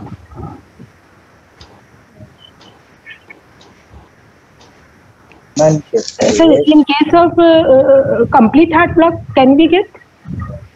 Complete heart block, what will be? Now I have to ask a question. In complete heart block. Giant AVY. Giant AVY. You can get irregular cannon waves. Yes. Cannon waves. You cannot use the word giant A waves because a difference between giant A wave and the cannon wave. What is the difference? Uh, Gaurav, what is the difference between cannon wave and a giant wave? It is three times the. It is three times that. No, giant wave is a prominent wave which is seen at the correct time of the wave. Yes, sir. Yeah, cannon wave is occurring when uh, what is uh, when is the cannon wave occurring? As per the night atrium contracts against the closed wall, against the closed tricuspid wall. The right atrium contracts over a closed atrium curve, especially when the atrial contraction occurs during systole. You have to mention two more conditions. Another is ruptured sinus of valsalva into the right atrium, Yes, sir. Oh. coronary cameral fistula into the right atrium. So any lesion causing increase in RA pressure, sir, that will lead on to No, no, no, no, no, no, in, in, increase in increase RA filling, increase in RA filling. Yeah, is leading increase. arterial RF filling. See, there is Oh. a high pressure RF filling. For example, in a patient with uh, uh, ASD or in a patient with, uh, uh, for example, in a patient with uh, uh, de- de-roofed coronary sinus, there can be more blood coming to the right atrium. That will not elevate the jugular vein pressure. That will not produce a V wave. V wave can occur only when there is a high pressure jet should come to the right, uh, right atrium during systole. So that is why tricuspid Yes, regurgitation, mitral regurgitation with ASD, or it can be Gerbode shunt, or it can be a ruptured sinus of valsalva, or it can be a coronary cameral fistula, where an arterial blood is coming to the right atrium. Okay. Okay. Sir, okay. inspection, Oh. Inspection palpation, sir. No, no, no, no, no. We cannot go away from JVP. So you said Yes, sir. Yes, sir. prominent A wave. So well, let us look at the prominent. What are the conditions which can give rise to prominent A wave? Gaurav? Yes, sir. First is sir uh, TS, TS. tricuspid stenosis. So tricuspid stenosis. Can this patient have tricuspid stenosis? Sir, history of rheumatic is there, sir. No, no, no, she no, no, can. no, no, no, no, No, no. sir. No, from because prominent Y descent. Very good. The patient is got No, a prominent Y descent, so cannot have tricuspid stenosis. Why? Why? Yes, sir. Why did she say that there cannot be tricuspid stenosis in presence of prominent Y descent? Uh, Gaurav? Uh, because filling cannot be uh, there, sir. Good Yeah. filling cannot be there, sir. If There sir, cannot be- is there, sir, then Y descent cannot occur. So good filling cannot be there. There can be Y descent will be there, but it will be a slow Y descent, Slow and Y descent, yes. not a rapid Y descent. So you said Y descent is very prominent. So uh, that is very unlikely. Okay. So what are the conditions in which you can get prominent A waves? Tricuspid stenosis, Uh, then tricuspid uh, atresia. or tricuspid atresia. Uh, you have to make keep a or, or, in all patients of tricuspid. Can there be no A in a patient with tricuspid? Atrial fibrillation is present, sir. If there is atrial fibrillation, but atrial fibrillation is ASD uncommon. also present. If ASD present, It's a very large ASD then there, there may not be any prominent A. When there is a large AST in a patient is uh, with uh, tricuspid atresia, uh, wha- wha- the, the right atrial pressure will be controlled by which pressure? Gaurav? Left ventricular end Uh, diastole. left Left ventricular diastolic pressure. and that, that, that. So, so if the left ventricular pressure is normal, then A wave need not be prominent. Okay, right, yes. But if there is a restrictive ASD, then you will get a prominent A wave. Okay, right. Other conditions, A wave prominence? So pulmonary The pulmonary hypertension, sir. Pulmonary hypertension. pulmonary artery hypertension can have uh, severe pulmonary artery hypertension can have with a right ventricular hypertrophy can have prominent A waves. Yes. Right. Pulmonary stenosis. Pulmonary stenosis very good. Yes. And Bernheim effect can also. Uh, yes. Sometimes Bernheim effect can give rise to prominent A waves in the neck. Not very prominent, but you can see flickering A waves in the neck. Especially sometimes patients with anterior myocardial infarction, you may be able to see a A wave in the neck because of the Bernheim effect. Yes. Very good. CCF patients can. Hmm? Sometimes patients with uh, RV infarction can have sometimes Yes. uh, prominent AV because uh, RV failure. it uh, interferes with the RV uh, relaxation and then the atrium has to contract powerfully to empty its contents into the right ventricle. So sometimes you may see prominent AVs in a patient with RV infarction also. Okay, right, yes. So these are the conditions which you get there. Then why coming to Y descent? Uh, tell me conditions where there can be prominent Y descent. So uh, one is our uh, uh, TR. TR can lead also. TR. Yeah. TR Any patient with any patient with TR and competent tricuspid valve can have a prominent Y descent. Why? Constrictive pericarditis. Constrictive No, no, before that, in tricuspid regurgitation, why Y descent is prominent? So because of increased filling is coming back, sir. That coming back to the No, no, that's because uh, in a patient with tricuspid regurgitation, V wave is very tall. And when the tricuspid valve opens, because of the high pressure in the right atrium, uh, emptying in the right ventricle is very rapid during the early part, and that can give rise to a very prominent Y descent, especially in patients with uh, uh, prominent uh, tricuspid regurgitation. And if the tricuspid valve is normal, uh, they are opening normally, these patients can have prominent Y descent. Another condition, the right heart. Uh, right heart. Uh, RV cardiomyopathy. Constrictive pericarditis, sir. Constrictive very good. Constrictive descent. It took so much time for you to say. Constrictive pericarditis. Yes. Can you tell me one condition where Y descent is absent? As a tamponade. Tamponade. Cardiac, cardiac tamponade. In cardiac tamponade, Y descent is absent. Why in cardiac tamponade, which be- which way becomes prominent? X. X, X descent becomes prominent. descent. Okay, so but this uh, physical finding actually needs to be verified because it is very odd finding that you are projecting prominent A wave and uh, Y descent.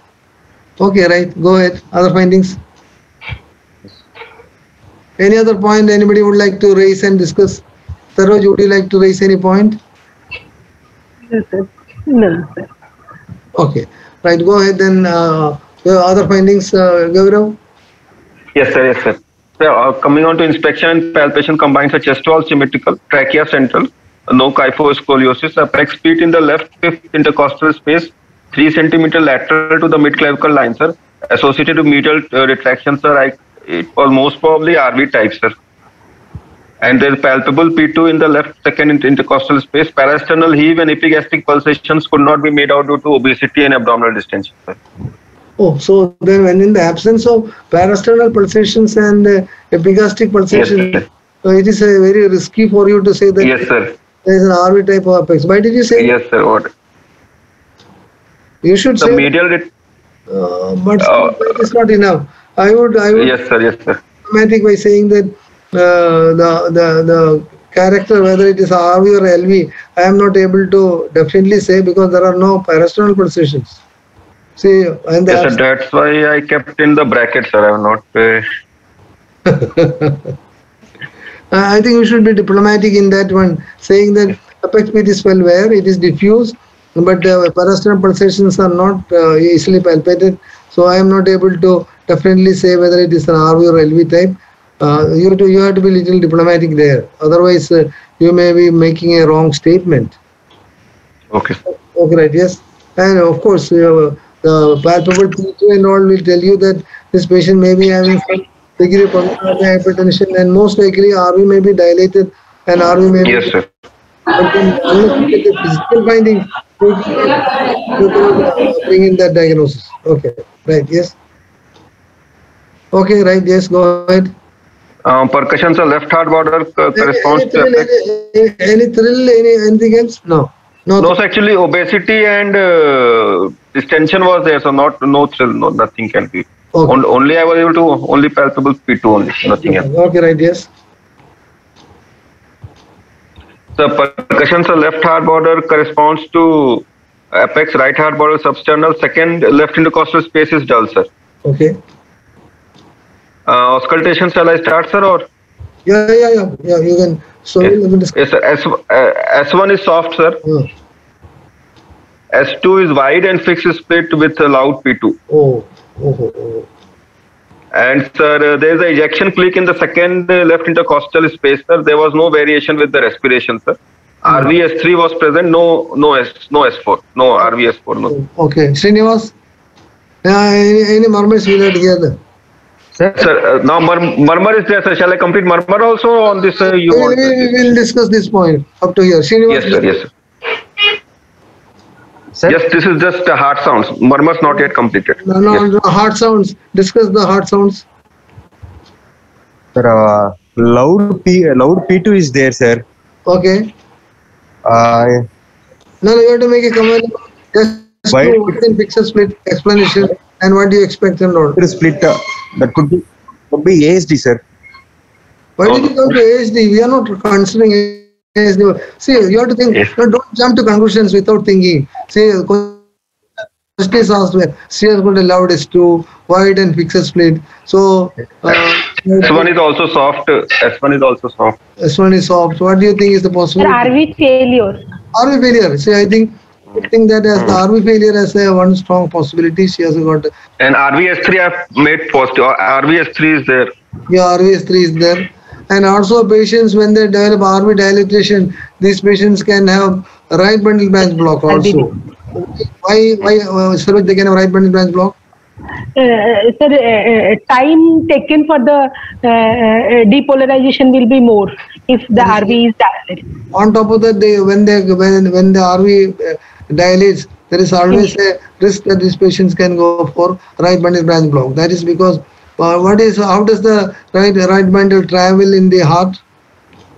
Uh, sir, uh, uh, right bundle is longer than the left bundle. Okay. Uh, sir, it has got a, uh, uh, uh, it also uh, crosses through the septum also, sir. IVS. crosses through the septum. Where does it? It is in the septum only. Yeah, in the septum. I don't know, sir. Gaurav, how does the Yes, uh, sir. uh, how does the uh, right bundle uh, travel?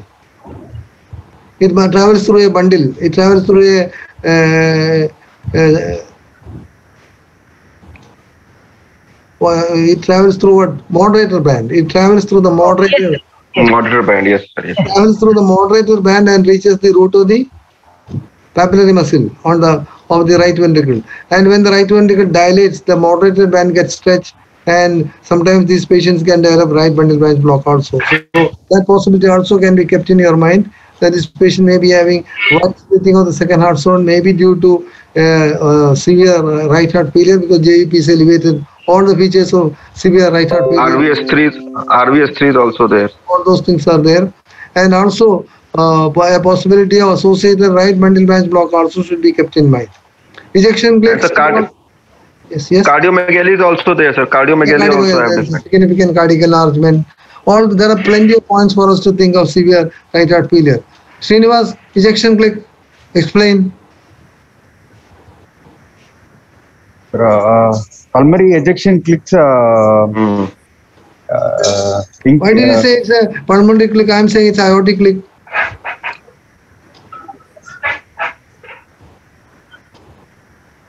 It is in the second intercostal space, sir. Left Yes, second. second left. It is well heard in the left, uh, second depth in the cos space. and he has not mentioned about, actually he should have mentioned that whether it is audible in the right intercostal space or so. Because uh, the aortic click can be heard both on the right side as well as on the left side. And pulmonary clicks are mostly audible only on the left side, not on the right side.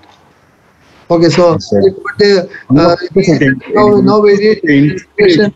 Usually the uh, the the pulmonary clicks may be phasic and why this click is not phasic?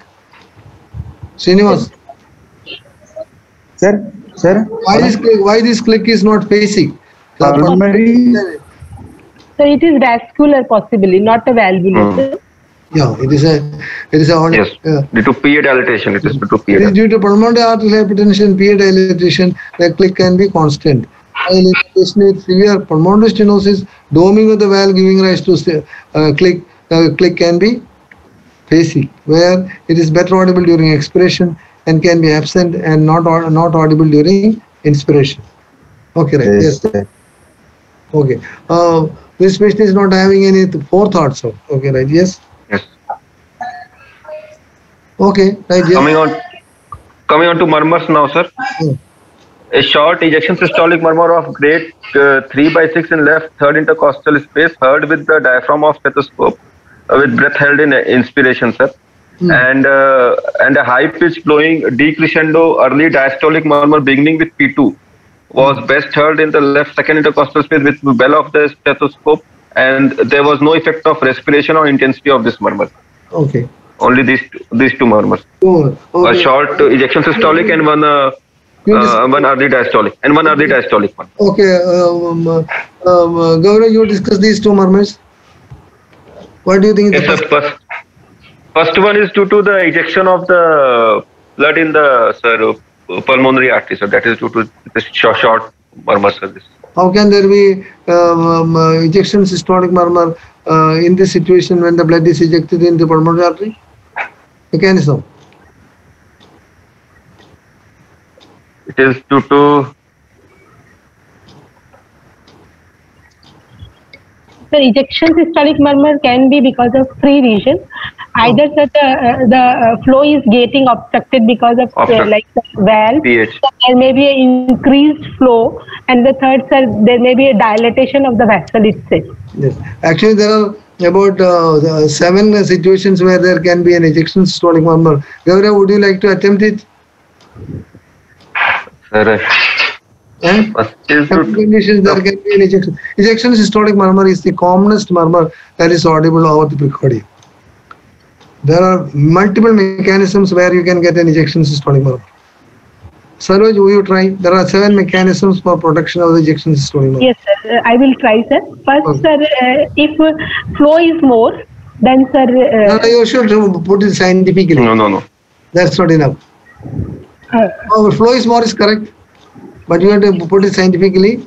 uh, sir, uh, the condition where we get. Oh. Sir, like- Mechanism, mechanism. the mechanism and then condition. Okay, sir. Sir, uh, like in case of uh, sir, valvular stenosis, like pulmonary stenosis, sir. Hmm. Uh, the dilatation of the pulmonary artery. No, like, no, no, no, no, that, uh, see, No, no. no, no, that's not the way to describe. I'll tell you how to describe. Now, stenosed valve, normal flow. Uh, Yes, uh, example, pulmonary stenosis, aortic stenosis. Here, the valve is uh, stenosed. There is a normal flow. That can give rise to an ejection systolic murmur, ASPS. Okay, right. Uh, Similarly, uh, sir, uh, like uh, flow is more, uh, uh, more. There Normal is valve. no obstruction ah, and dilatation of the uh, ves- uh, vessel. Like, sec- sir, no, no, no, you should do step by step. Second mechanism, normal valve, no obstruction, no uh, structurally normal valve, and increased flow. Example, pulmonary, uh, sir, idiopathic pulmonary artery hypertension. no, no, no, wrong. No, no, no. The PR, Oh, PR can sometimes give rise to, okay, right, yes. More, more, the Sir, uh, best two examples are ASD and Yes. ASD and and sir, TAPVC. no, also all right, PTP, TAP can give rise to, but one condition, one you should mention on the left side, one on the right side. Left, Sir, left on the left side, sir, uh, uh, sir, any AV uh, uh, communication or sir, hyperthyroidism, anemia. No, no, no, no, no. They are not increased flow. So AR can lead out to increased flow in uh, aortic regurgitation. Aortic AR, yes, regurgitation can get an uh, early, systo- early uh, ejection systolic, early peaking, secondary to increased flow. So, yes. valve, normal flow, uh, normal opening of the valve, but increased flow. Third mechanism you have already mentioned, the the dilated vessel. Yes. What is the mechanism in dilated vessel? You tell the mechanism also. Yes, sir. Uh, because of the sir increased turbulence. Yes. When the blood is ejected from through the through the valve into a dilated vessel, it produces a turbulence in the dilated vessel that can give rise to a ejection systolic murmur. Conditions. Conditions. huh, sir. The pulmonary Post-stenotic dilatation, sir. No, no, Post-stenotic no, no. dilatation. Post-stenotic dilatation is pulmonary stenosis. No. Oh. The pulmonary arterial hypertension. Uh, Pulmonary hypertension with associated dilatation of the pulmonary artery and Yes, aortic aneurysm. And aortic aneurysm. Aortic aneurysm can give rise to uh, uh, an ejection systolic murmur due to the same mechanism. Fourth mechanism, Sir, uh, sir, uh, uh, not incomplete stenosis like sir in case of uh, uh, coarctation of aorta, uh, we can get. no, no, what do you mean by incomplete stent? So, uh, sir, the No, that's not correct. Fourth mechanism is uh, normal opening but structurally abnormal valve.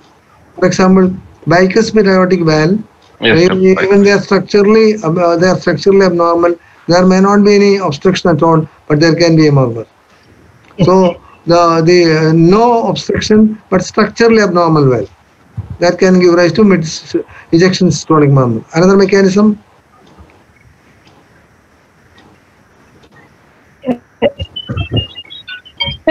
only just because of the increased dynamic flow. yes. Example. Physiological in So like beriberi, anemia, Yeah, yeah. hyperthyroidism. thyrotoxicosis. Uh, Correct. uh, wha- wha- what exactly is happening there? I, I would like you to know, understand what is happening. There, so a large, unit, a large volume of blood is ejected in the early part of the stroke.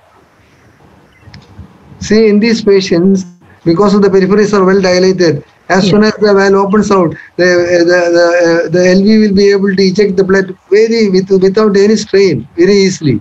And in the early part, there will be a large volume of blood. Most of the ejection takes place quite early in the early part of ejection.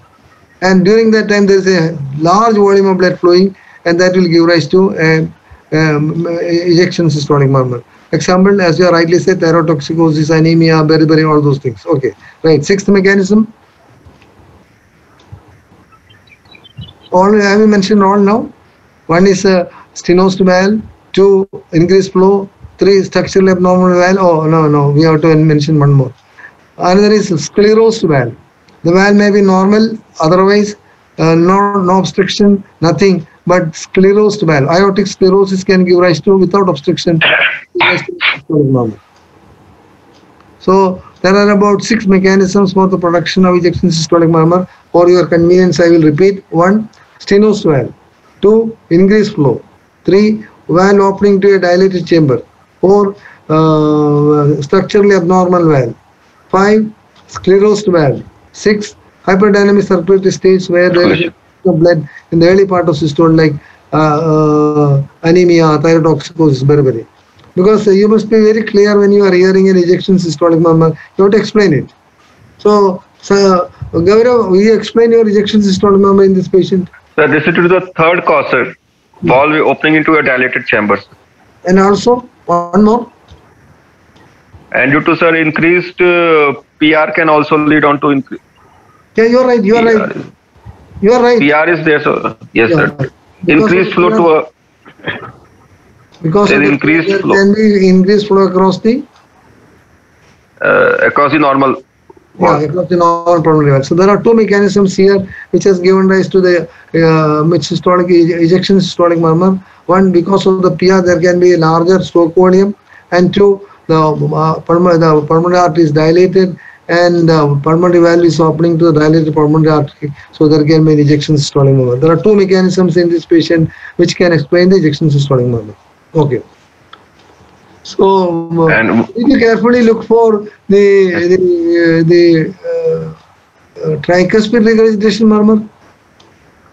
no, so actually diastolic murmur was uh, Tricuspid regurgitation murmur. no, no, no, no, sir. You could not get. You also no, the lower part of the uh, uh, the precordium Actually, and also patient was obesity was also there's a female patient, so I was only confident of these two murmurs only, sir. Okay, right. Okay. So there, there's a quite quite possible that the patient may be having associated tricuspid regurgitation also, could most likely. But uh, there are, from your description, the patient is not having any V wave. That also is a point uh, for me to uh, to think probably uh, tricuspid regurgitation is not very prominent because you could not get Yes, like a V wave. Yes, Of the two lesions, tricuspid regurgitation and pulmonary regurgitation, when the LV is in trouble, the tricuspid regurgitation occurs much earlier than pulmonary regurgitation because the tricuspid valve dilates and when the tricuspid valve dilates, they develop tricuspid regurgitation. Okay, right. So, uh, Sarvaj, any other point that you want to raise? Srinivas?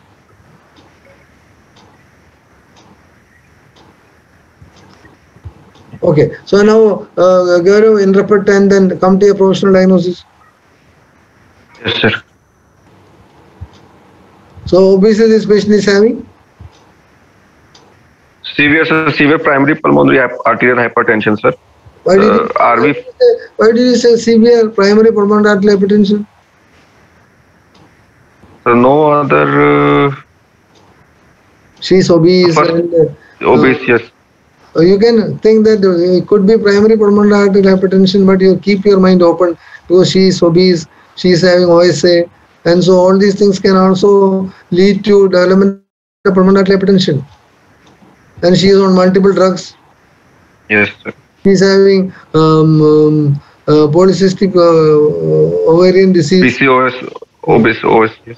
PCOD also is there. So all those things can be kept in your mind. So don't jump to primary pulmonary arterial hypertension. You can say uh, pulmonary arterial hypertension um, uh, uh, Under maybe, evaluation. uh, maybe secondary to uh, anemia, sorry, not anemia, edema, uh, obesity, or maybe due to OSA, or maybe due to uh, PCOD. All those things should be considered, and I would like to rule out a primary cause for pulmonary arterial hypertension also. Okay, right? Yes. Actually, so OSA was mild, sir. In the sleep study report, OSA was mild apnea only. Was there. Oh, I see. Then it is not significant. But you uh, uh, said the patient is having OSA. So OSA is one Yes, in sir. Actually, for development of pulmonary Yes. Okay, right. Yes. so RV failure, sir. She is on treatment with diuretic therapy, sir, from outside. Okay. Okay. WHO, sir, functional class 3, sir. 6 minute walk test was only 188 meters with Okay, saturation. Very, very good. Uh, sir, she was diagnosed as PSRA from outside, sir. Morbid obesity, OSA, PCOS, mood disorder. What is PSRA? I do not know. What is it? What is PSRA? Post post streptococcal uh, reactive arthritis. Oh, post-streptococcal or reactive. Uh, arthritis. reactive reactive arthritis. that not. At the moment, she is not having any features of. Yes, sir. So uh, uh, probably pro, uh, di- di- previous diagnosis of post-streptococcal rheumatoid arthritis, uh, reactive arthritis is uh, uh, there. Yes, but sir. There is no clue. Okay, right? Yes. Yes. Oh, okay. Okay, you are rheumatic. Now, at the moment, there is no evidence of rheumatic. No, yes. Rheumatic Yes, yes. Okay. Now, uh, Srinivas, what in- investigation would you like to look at? Is it ECG, X-ray? What do you think? Which is more informative? X-ray. X-ray. X-ray is more informative. Why do you Yes, think. X-ray is informative? Gaurav, wh- why X-ray Yes, is sir. more informative? So we can uh, see, sir, the to- pulmonary artery segment and this uh, heart shadows. Yes, you can look at the. We can confirm. shadow, You can look at the size of the pulmonary artery. You can look for sun lesion.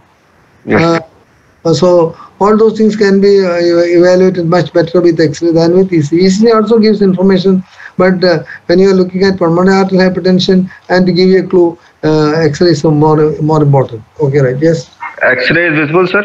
Uh, yeah. Okay. Yes. See him. Yeah. You discuss. X-ray is okay, sir. Now, so this is the first of December X-ray, sir. Okay. Shall I discuss or? Discuss, discuss. You discuss. Yes, sir. Yes, sir. Chest X-ray PA view, sir. Normal standardization. Oh, Uh, sir, uh, cent- uh, central centralization appears to be normal, sir. okay. The cardiomegaly is there, sir. Cardiomegaly is there. CT ratio around uh, 60%. Okay. And ap- apex appears to be upturned, we can say, sir. Upturned apex. No, Or, no, no, no, no, I won't agree on that. I don't think apex is upturned. Uh, I will be very neutral in saying that I cannot comment about the apex. If at all I am to comment, I would say that it is more LV type than RV type. okay. Okay. Okay. sir. So cardiomegaly is there. Yes. And uh, sir, uh, main pulmonary artery segment is enlarged, sir. We can good. main pulmonary artery. Mine pulmonary segment is permanent. Yes. And sir, RA enlargement is there, sir, around two and a half. Yeah, Uh. Maybe there, there is some degree of RA enlargement. Very good because the vertical height of the RA is uh, more than two and a half. Yes. Yes. and sir, cardiomegaly secondary to RVH can be or Is there evidence of RVA? Is there evidence of pulmonary artery hypertension in this X-ray? yes, the main pulmonary artery is dilated, sir. And sir, this uh, p- p- and sir, last uh, this uh, pe- pe- peripheral one third, sir, there is decreased uh, decreased blood blood flow, sir. But the right pulmonary artery is not Right large. pulmonary artery also enlarged. Also dilated, sir. Yes, sir. Yes, sir. Also dilated. not grossly dilated. I would not. I am not certain about the from the X-ray whether I can easily diagnose pulmonary artery hypertension. I agree with you that pulmonary artery segment is large and main pulmonary artery segment is large. I agree with that. It's a large. But uh, when it comes to the periphery, I am not able to see a real peripheral cutoff. I agree with you that there are no vessels seen in the periphery, but even Yes. the central vessels are not very huge. Maybe because uh, she developed pulmonary arterial hypertension over a short period, and uh, maybe that uh, she has not developed significant vascular changes. So pulmonary artery segment is large, but not the rest of the pulmonary arteries. I won't comment on the uh, size of the pulmonary artery. They are not grossly enlarged. MP is definitely enlarged, sir. MP is def- Yeah, yeah, yes, yes, yes. Uh, is there a left atrial enlargement? no, sir. Angle appears to be normal, sir. Yeah, Angle. yeah, that's not left atrial enlargement. Okay, so uh, does it help us in our diagnosis? Yes, sir. Cardiomegaly is there. Uh, RA enlargement is there. Main pulmonary artery enlargement is there, and peripheral uh, decreased blood flow is uh, we can. Yes. I, I will be very neutral about that. I won't make a commitment. Okay, so there are some points for us to think that the patient is having some degree of pulmonary artery hypertension. So probably ECG may help us. ECG, Oh, sir. One more, sir. This is the X-ray just six months back, sir. oh, March.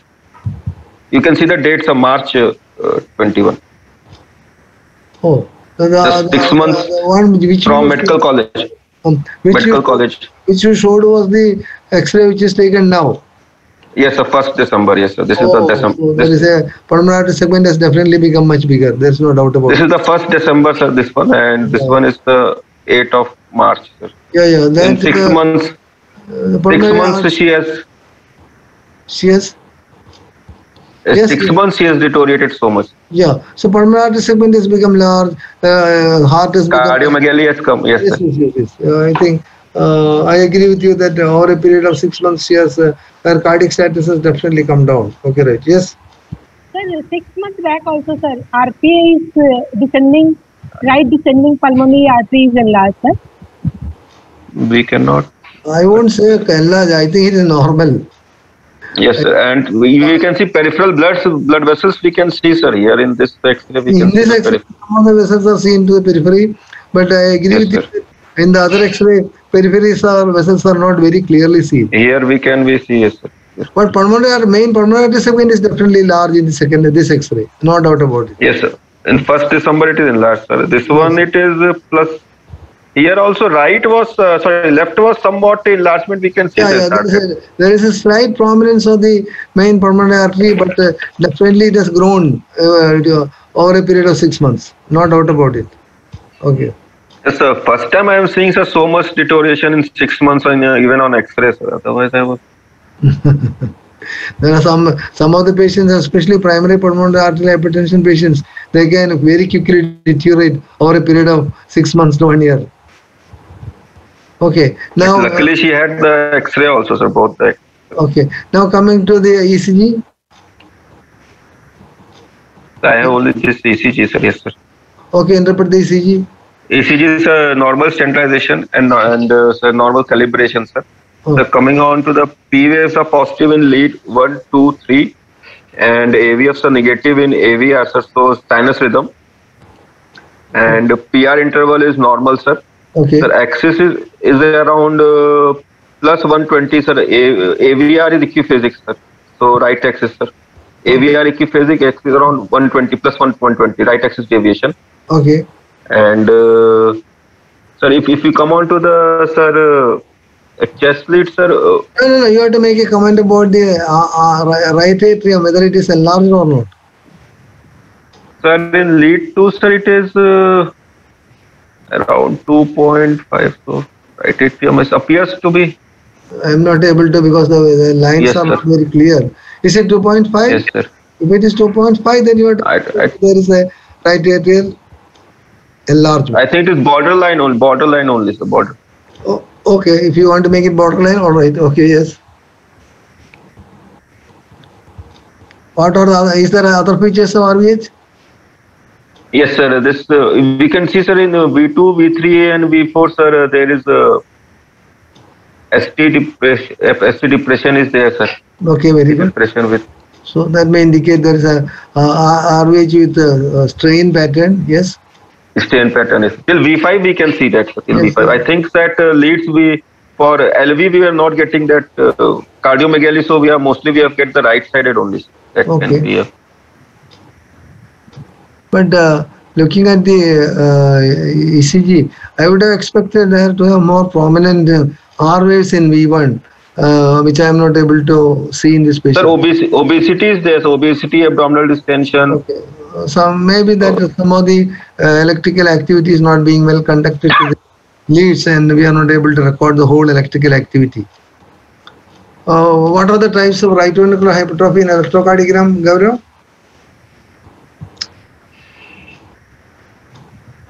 What are the types? You can see RV. Hmm? So, bo- What are the types of right uh, electrocardiographic evidence of right ventricular hypertrophy? yes, sir. Yes, sir. First is that uh, uh, RS ratio, sir, in V1, V2 will be more R than S, sir. V1 and V2, sir. Hmm, Okay. Uh, we, were- we, we went into there can be either QR pattern or a pure R pattern or a deep large R with small S pattern, which is usually associated with uh, pulmonary uh, with associated with pressure overload of the right ventricle and can happen in patients with pulmonary stenosis, pulmonary arterial hypertension, uh, all those things. Okay, right? Yes. And sir, other and uh, other we can say then V5 V6 S wave will be more prominent than the R wave, sir. V5 V6 In, uh, in V5, V- in V5, V6, if R by S ratio is less than less than one. less than one. Okay, right? Yes. one. Then. Uh, other will be sir uh, monophasic R in V1. No, that is we already mentioned. RSR dash pattern. Yes. RSR dash pattern will tell you about uh, right ventricular hypertrophy associated with volume overload. Volume overload. Yes, so this is pressure. Uh, the first one is pressure where there is pure R or QR pattern. And uh, all these three conditions will have uh, uh, right axis deviation. In the limb leads, you will see right axis deviation, and in the uh, the chest lead, there can be three three types of patterns. One, uh, uh, tall R with a very small small S wave, or a QR pattern in V1, which is mostly associated with pressure overload. Two, RSR dash pattern, which is associated with volume overload. And three, R by S ratio, the prominent S wave in V5 and V6 and R by S ratio in V5 and V6 is less than 1. That also are features suggestive of right ventricular hypertrophy. And what is the situation where you get uh, right axis deviation and R by S ratio less than 1 classically? Gaurav, Yes, sir. Right axis with uh, in what condition do you get right axis deviation with R by S ratio less than 1 in V5 and V6? top. Sir, left anterior fascicular, sir. Beg your pardon? Right axis deviation, left anterior fascicular plux, sir. on. No, no, no, no. The question is not uh, uh, not about the axis deviation. I'm asking that uh, R by S ratio in V5 and V6 will be less than 1. Less than one, sir. With the right axis. top we top we can No, no, no, no. Sir, in the ve- ventricular tachycardias. No, no, no. Not ventricular tachycardia, regular ECG recording. And you can diagnose uh, RVH by looking at the electrocardiogram. Okay. It is in core, it is in core pulmonary. In core pulmonary, core pulmonary, you can see RS pattern from V1 to V6. And R by S ratio in V5 and V6 will be more than 1. And they can have associated right axis deviation. And this R by S ratio less than 1 is taken as a criteria for the diagnosis of right ventricular hypertrophy in uh, cor pulmonale. Emphysema, pulmonary. And emphysema, the, because of the uh, the uh, uh, the uh, hyperinflated lung, heart may be slightly pushed backwards, and that is said to be one of the reasons why they, these patients can have a smaller, deepest pattern from V1 to V6. So whenever you see uh, V- V1 to V6 showing R, R by S pattern, you must always consider a possibility of cor pulmonale. Okay, right. Yes. So uh, does the uh, ECG help us to diagnose or it negates our diagnosis? No sir it is positive only sir because right axis deviation RVH is there uh, plus minus RA enlargement. And also exercise, Yes, sir. testosterone, prominent uh, main prominent arteries all put together. sir. I think we can diagnose pulmonary artery hypertension and we have to look for a cause. Okay. Do we have an echo also? Uh, sir, echo report is there, sir. Actually, Okay. uh, that uh, I was not able to. Okay, read the echo report. Uh, sir, dilated RA and RV, sir. There was a severe pH. RVSP was around 56 plus 15, Hmm. and IVC was around 22 millimeters, sir. Okay. Uh, D-shaped LV, good LV systolic function, and thin layer of pericardial effusions were also there. Okay. So there was only mild, to mild to moderate, mild TR was there. So not TR was not. Uh, they were not able to di- document so much of TR. TR. Uh, they could not get PR. Yes, the PR they were not able to. Type TR, TR also. TAPSE they have written 16, sir, but I don't think that uh, this was done by one technician. I was not able to get that uh, final report, sir. Type says 16. Uh, you haven't 16? Uh, no, no, There is some degree no, of no, sir. Yes, sir. I- There is definitely RV dysfunctions. IVC is 22, JVP is raised, dilated RA, RV. Okay.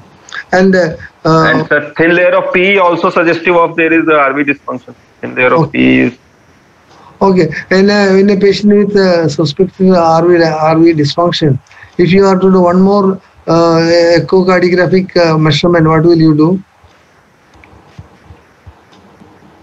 You look at RV, vol- RV volume. Uh, RV volume is very difficult. if you want to do RVEF, RVEF we can. difficult, RVF and all is not that easy. Uh, RV volume, if you want to do really, you have to do a 3D echo. 3D echo, you can uh, measure the RV volume. Otherwise, in 2D echo, it is almost difficult to measure the RV volume. Saroj, what is the other measurement that will help you to diagnose?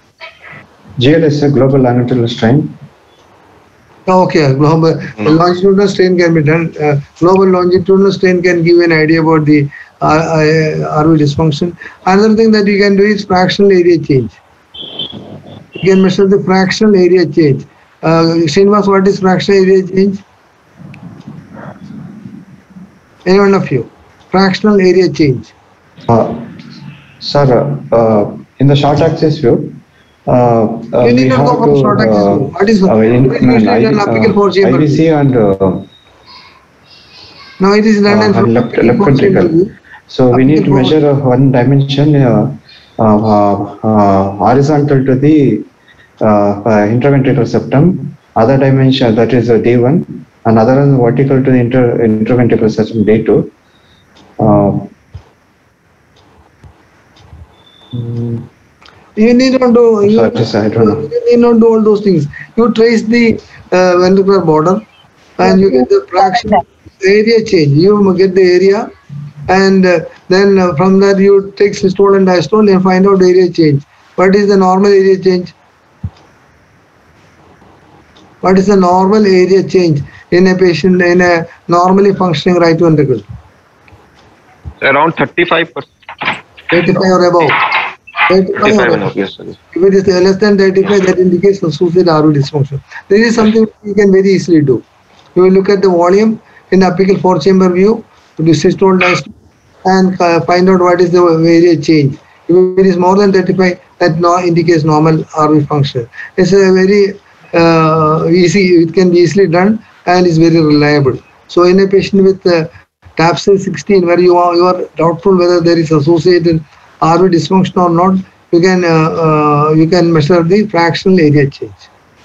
Okay, so now uh, you have come to so how what is your approach to the problem? How are you going to treat? What are you planning to do? Where are you? Where are you now? Ah, yes, sir, yes, sir. Uh, sir, I was taking water, sir. yes, sir. I was taking water yesterday. Yes, sir. Yeah. Okay, so tell me what are the uh, what is your Yes, approach? sir, we will evaluate the patient sir, for all the causes of uh, pulmonary hypertension. Yes, sir. first of all And- rule out that there is there any treatable cause, including thrombo thrombopulmonary arterial hypertension. So if it is primary pulmonary hypertension or uh, contributed by some other comorbidities, what will be your approach? So then we'll start on uh, dual therapy, sir. Uh, No, no. First of all, you ERA. see- so she has got a lot of comorbidities which can lead to permanent Yes, like OSA, Yes, obesity, all those things should be first looked after. So Yes, if she's saying OSA, that should be treated. If she's saying obesity, that should be brought down to ideal weight, so that that will also help in the reduction of the pulmonary arterial pressure. So Yes. comorbidities to be treated, and then you will use drugs. And what are the what is your drug treatment?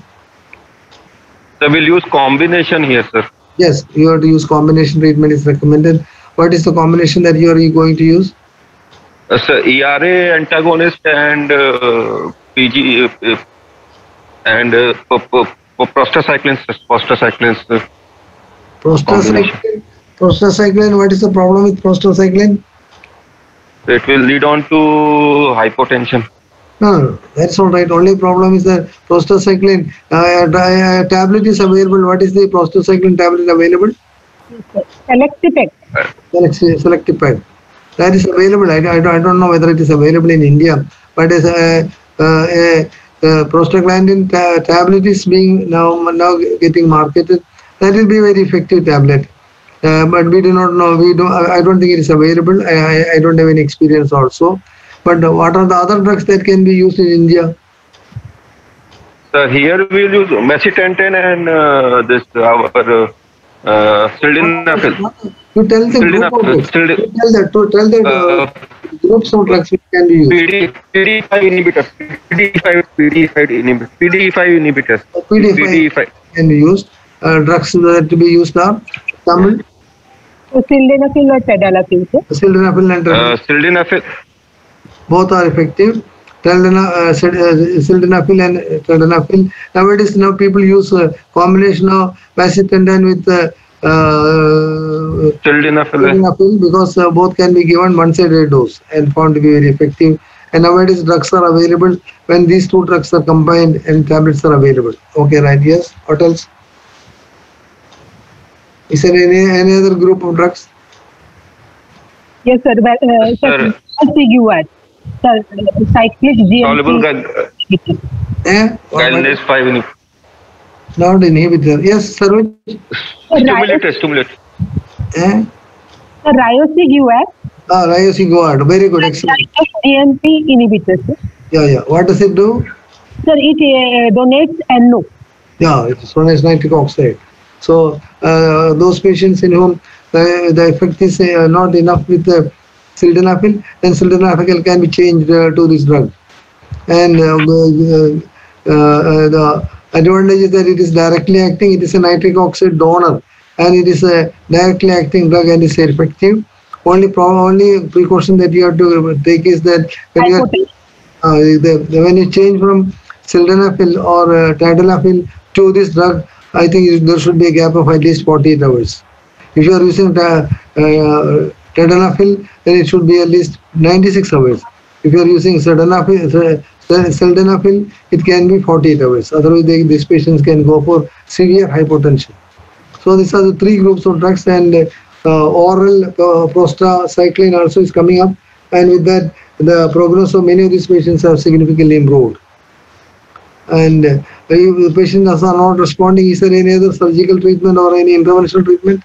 It's a balloon atrial septostomy sometimes. Sometimes you can make uh, when the uh, pressure in the right atrium goes up and up, you can do a septostomy, and that can uh, relieve the congestion of the right ventricle. But those patients do not do very well.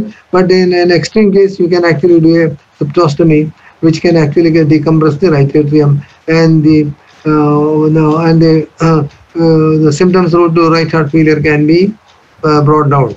And nowadays, the people can implant valves.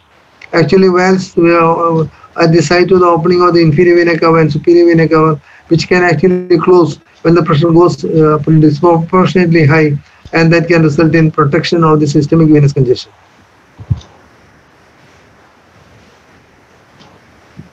Okay, and uh, if the patient is not responding, what is the treatment, Gaurav? Heart lung Then, sir, uh, heart lung. Heart lung transplantation. Those patients can undergo heart lung transplantation, and uh, sometimes, uh, of course, it carries a high risk. But then, uh, for a completion sake, you should say that patients with primary pulmonary artery hypertension, if they are not responding and they are steadily deteriorating, they are candidates for heart lung transplantation. Actually, sir, this patient in uh, uh, her uh, this uh, six minute walk test is around less than 200 only, sir. And there is systemic desaturation also on exercise. Now, this patient, I think there are a lot of comorbidities, and if you look after any uh, obesity and also OSA and other things, and then uh, after uh, all these things have been looked after, uh, there will be uh, she will be. I think she will do extremely well with the drugs which can reduce the pulmonary artery uh, hypertension, pulmonary artery pressure. So we have started sildenafil and macitentan. We have started. Okay, that's very good. What is the dose that you have started? Sir, macitentan 10 and sildenafil 20 TDS. Okay, very good. That can be given. Or nowadays, I think there's a one tablet is available where there's a combination of macitentan and plus uh, uh, tadalafil, so that the patient need to take only just one tablet once a day. It's very convenient dosage. Both the drugs act 24 hours, and just one dose is enough, and it's a combination tablet. And uh, uh, um, uh, of course, you have to treat the pulmonary artery, elevated blood, pulmonary artery pressure, but I would consider that other comorbidities like anemia and OSA should be looked into, and that also should be aggressively treated.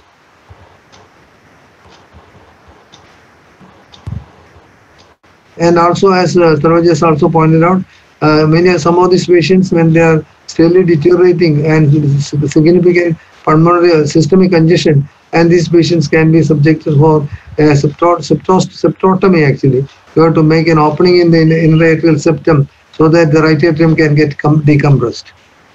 We should also go first with the vasoreactivity test. Beg your pardon?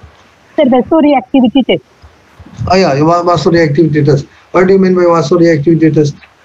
Sir, uh, in vasoreactivity test, we give vasodilators. Okay. Uh, so the uh, blood pressure should not, so, uh, cardiac output should not decrease. Oh. Uh, and sir, we have to see whether the pulmonary artery pressure is decreasing or not. Now, how much, how much should it decrease? uh, uh, Decrease by 10. Decrease by 10. No. Well, now, what what pressure should fall? Systolic, systolic Sir, pressure. Systolic pressure should not fall uh, more than 20. Uh, uh, sir, sir, uh, sir, uh, What is the criteria for vasoreactivity of the pulmonary vasculature? Gaurav, The fall of systolic. Yes, sir. Sir, sir decrease in systolic uh, pulmonary pressure by 10, sir. By 10 millimeter of. Uh, not correct. Criteria is usually only for when you are testing for Eisenmenger syndrome. But I would like uh, like to, to you like you to tell me what is the criteria for Eisenmenger uh, no no reversibility of pulmonary artery hypertension by, uh, by uh, uh, challenges by the vasodilators. sir, uh, what I, I was telling was that this, like uh, after giving the vasoreactive agent, the uh, systemic pressure should not fall more than 20. Oh, systemic pressure should not fall more than 20. Okay, right. Yes, yes. They are commenting about systemic. Uh, they say actually cardiac output also should not fall. When you are looking at the pulmonary vascular uh, vas- vascular reaction and the, pulmonary, the cardiac output should not fall and the systemic pressure also should not fall. And uh, there should be a drop in the uh, the pul- pulmonary artery pressure. Mean pulmonary artery pressure should drop more than 10 millimeters More than and also the main pulmonary artery pressure should be less than 40 millimeters of mercury. Two criteria should be satisfied. One is uh, main pulmonary artery pressure fall should be more than 10 and when it falls it should fall below 40 millimeters of mercury. what you mean. Main pulmonary artery pressure of 40 millimeters. Yes, sir, mean only mean. Yes, sir, definition is also sir mean only, sir. Definition is also mean pulmonary artery pressure. Yeah. So that also can be done. Uh, I think uh, any other doubts? I think it's nine o'clock now. Any other doubts? I think Gaurav, you did very well. Good discussion, good case, excellent case. And I think uh, there was a lot of points to be discussed. And Srinivas also discussed well. Srinivas, I think uh, you were uh, uh, uh, we, we are a quiet person, but I think you are discussed very reasonably well. Uh, Saroj also discussed well. Very good, Saroj. Okay. So next week, what what will we have? Shall we have some ECG discussion next week? Would you like to have some ECG discussion also in between? Or you would like to have a case? If somebody can bring a case, then we can have a case, case discussion also. Saroj, can you bring a case? Sir, I will try, sir. Okay. Sir, uh, uh, good evening, sir. Ronak here, sir. Oh. Uh, sir, our exam schedule has been uh, declared, and the this time pattern is OSCE pattern. So, could we have OSCE discussion? What discussion? Uh, OSCE pattern discussion. Uh, just now, uh, the, our exam uh, schedule has been uh, declared for Ju- June 21 session Oh, uh, for practical exam, and the pattern is OSCE pattern, sir. oh. What, what, do- what do you mean by the OSCE pattern means? Uh, sir, the, it's like a spotters examination. Like uh, uh, 25 spotters is there, and okay, we have That is a that was the pattern for DNB examination previously also. Yes, sir. Yes, sir. Same same pattern has been declared, sir. Okay. just, just now declared. It is one hour before. So we can have um, uh, multiple spotters from ECG, X-ray, echo, Yes, pressure Yes. tracing. Okay, we will uh, we will bring a mix mixture of all those things. Yes, sir. Yes, sir. So we can have a discussion on uh, few few cases of ECG, few uh, pressure tracings, few uh, echo uh, clippings, and also one or two X-rays. So we can have around 20 or 25 uh, clippings can be discussed. No problem. Yes, sir. Yes, sir. Yes, sir. So that will be of help for those who are appearing for the DNB examination in the uh, coming weeks. Yes. Okay, so we'll do that. Yes. Any other suggestion? So next week we'll have, uh, oh, next week there's a problem. Next week oh, I may not be available because uh, there is a Christmas Eve. My children are coming. So there's a problem. So we will have a week after next, not next week. Next week I, I may have a difficulty because uh, my children are all coming. So uh, they are in uh, in Mumbai and Delhi. They are coming. So I may not. So next week I think we'll not have a discussion. 24th. The- Next week Friday will be 24th. So so we will not have a discussion on 24th. 31st we will have no problems. Okay, sir. Okay, sir. 24th we, we cannot have. Okay. Okay. So please uh, tell others also 24th we, we won't have a class and we will have a class on 31st. Okay, sir. Okay. Okay, okay, right. Thank you. Okay, right. I think you did very well. Okay, good. Good Thank you, sir. Thank you. discussion. Very good. Gaurav, you did you did very well. Excellent. When are you appearing, Gaurav? Next November, next uh, uh, August? Coming Au- August, yes, sir. Coming August. Coming August, yes, sir. Okay, okay, okay. Right. Okay, I think uh, you are you are improving steadily. Uh, in between, you are not able to. Uh, you are, need some more theory reading also. Your uh, clinical discussions right. Read some more theory so that you are able to answer questions. Uh, uh, some of these questions which are coming out of this theory, theory, practical, practical questions which are coming up in, the- in the clinical examination. You know, you should have some theoretical background also, so that becomes easy for you to answer those questions. Okay, right. Good night. Good night. Good night. sir. We'll uh, after two weeks now. Okay. Thank you. sir. Thank you so much. Sir. Thank you, sir. With your permission, shall we conclude? Yeah, yeah, we can conclude. Thank you. Thank you. Thank you. Thank you very much. Thank you.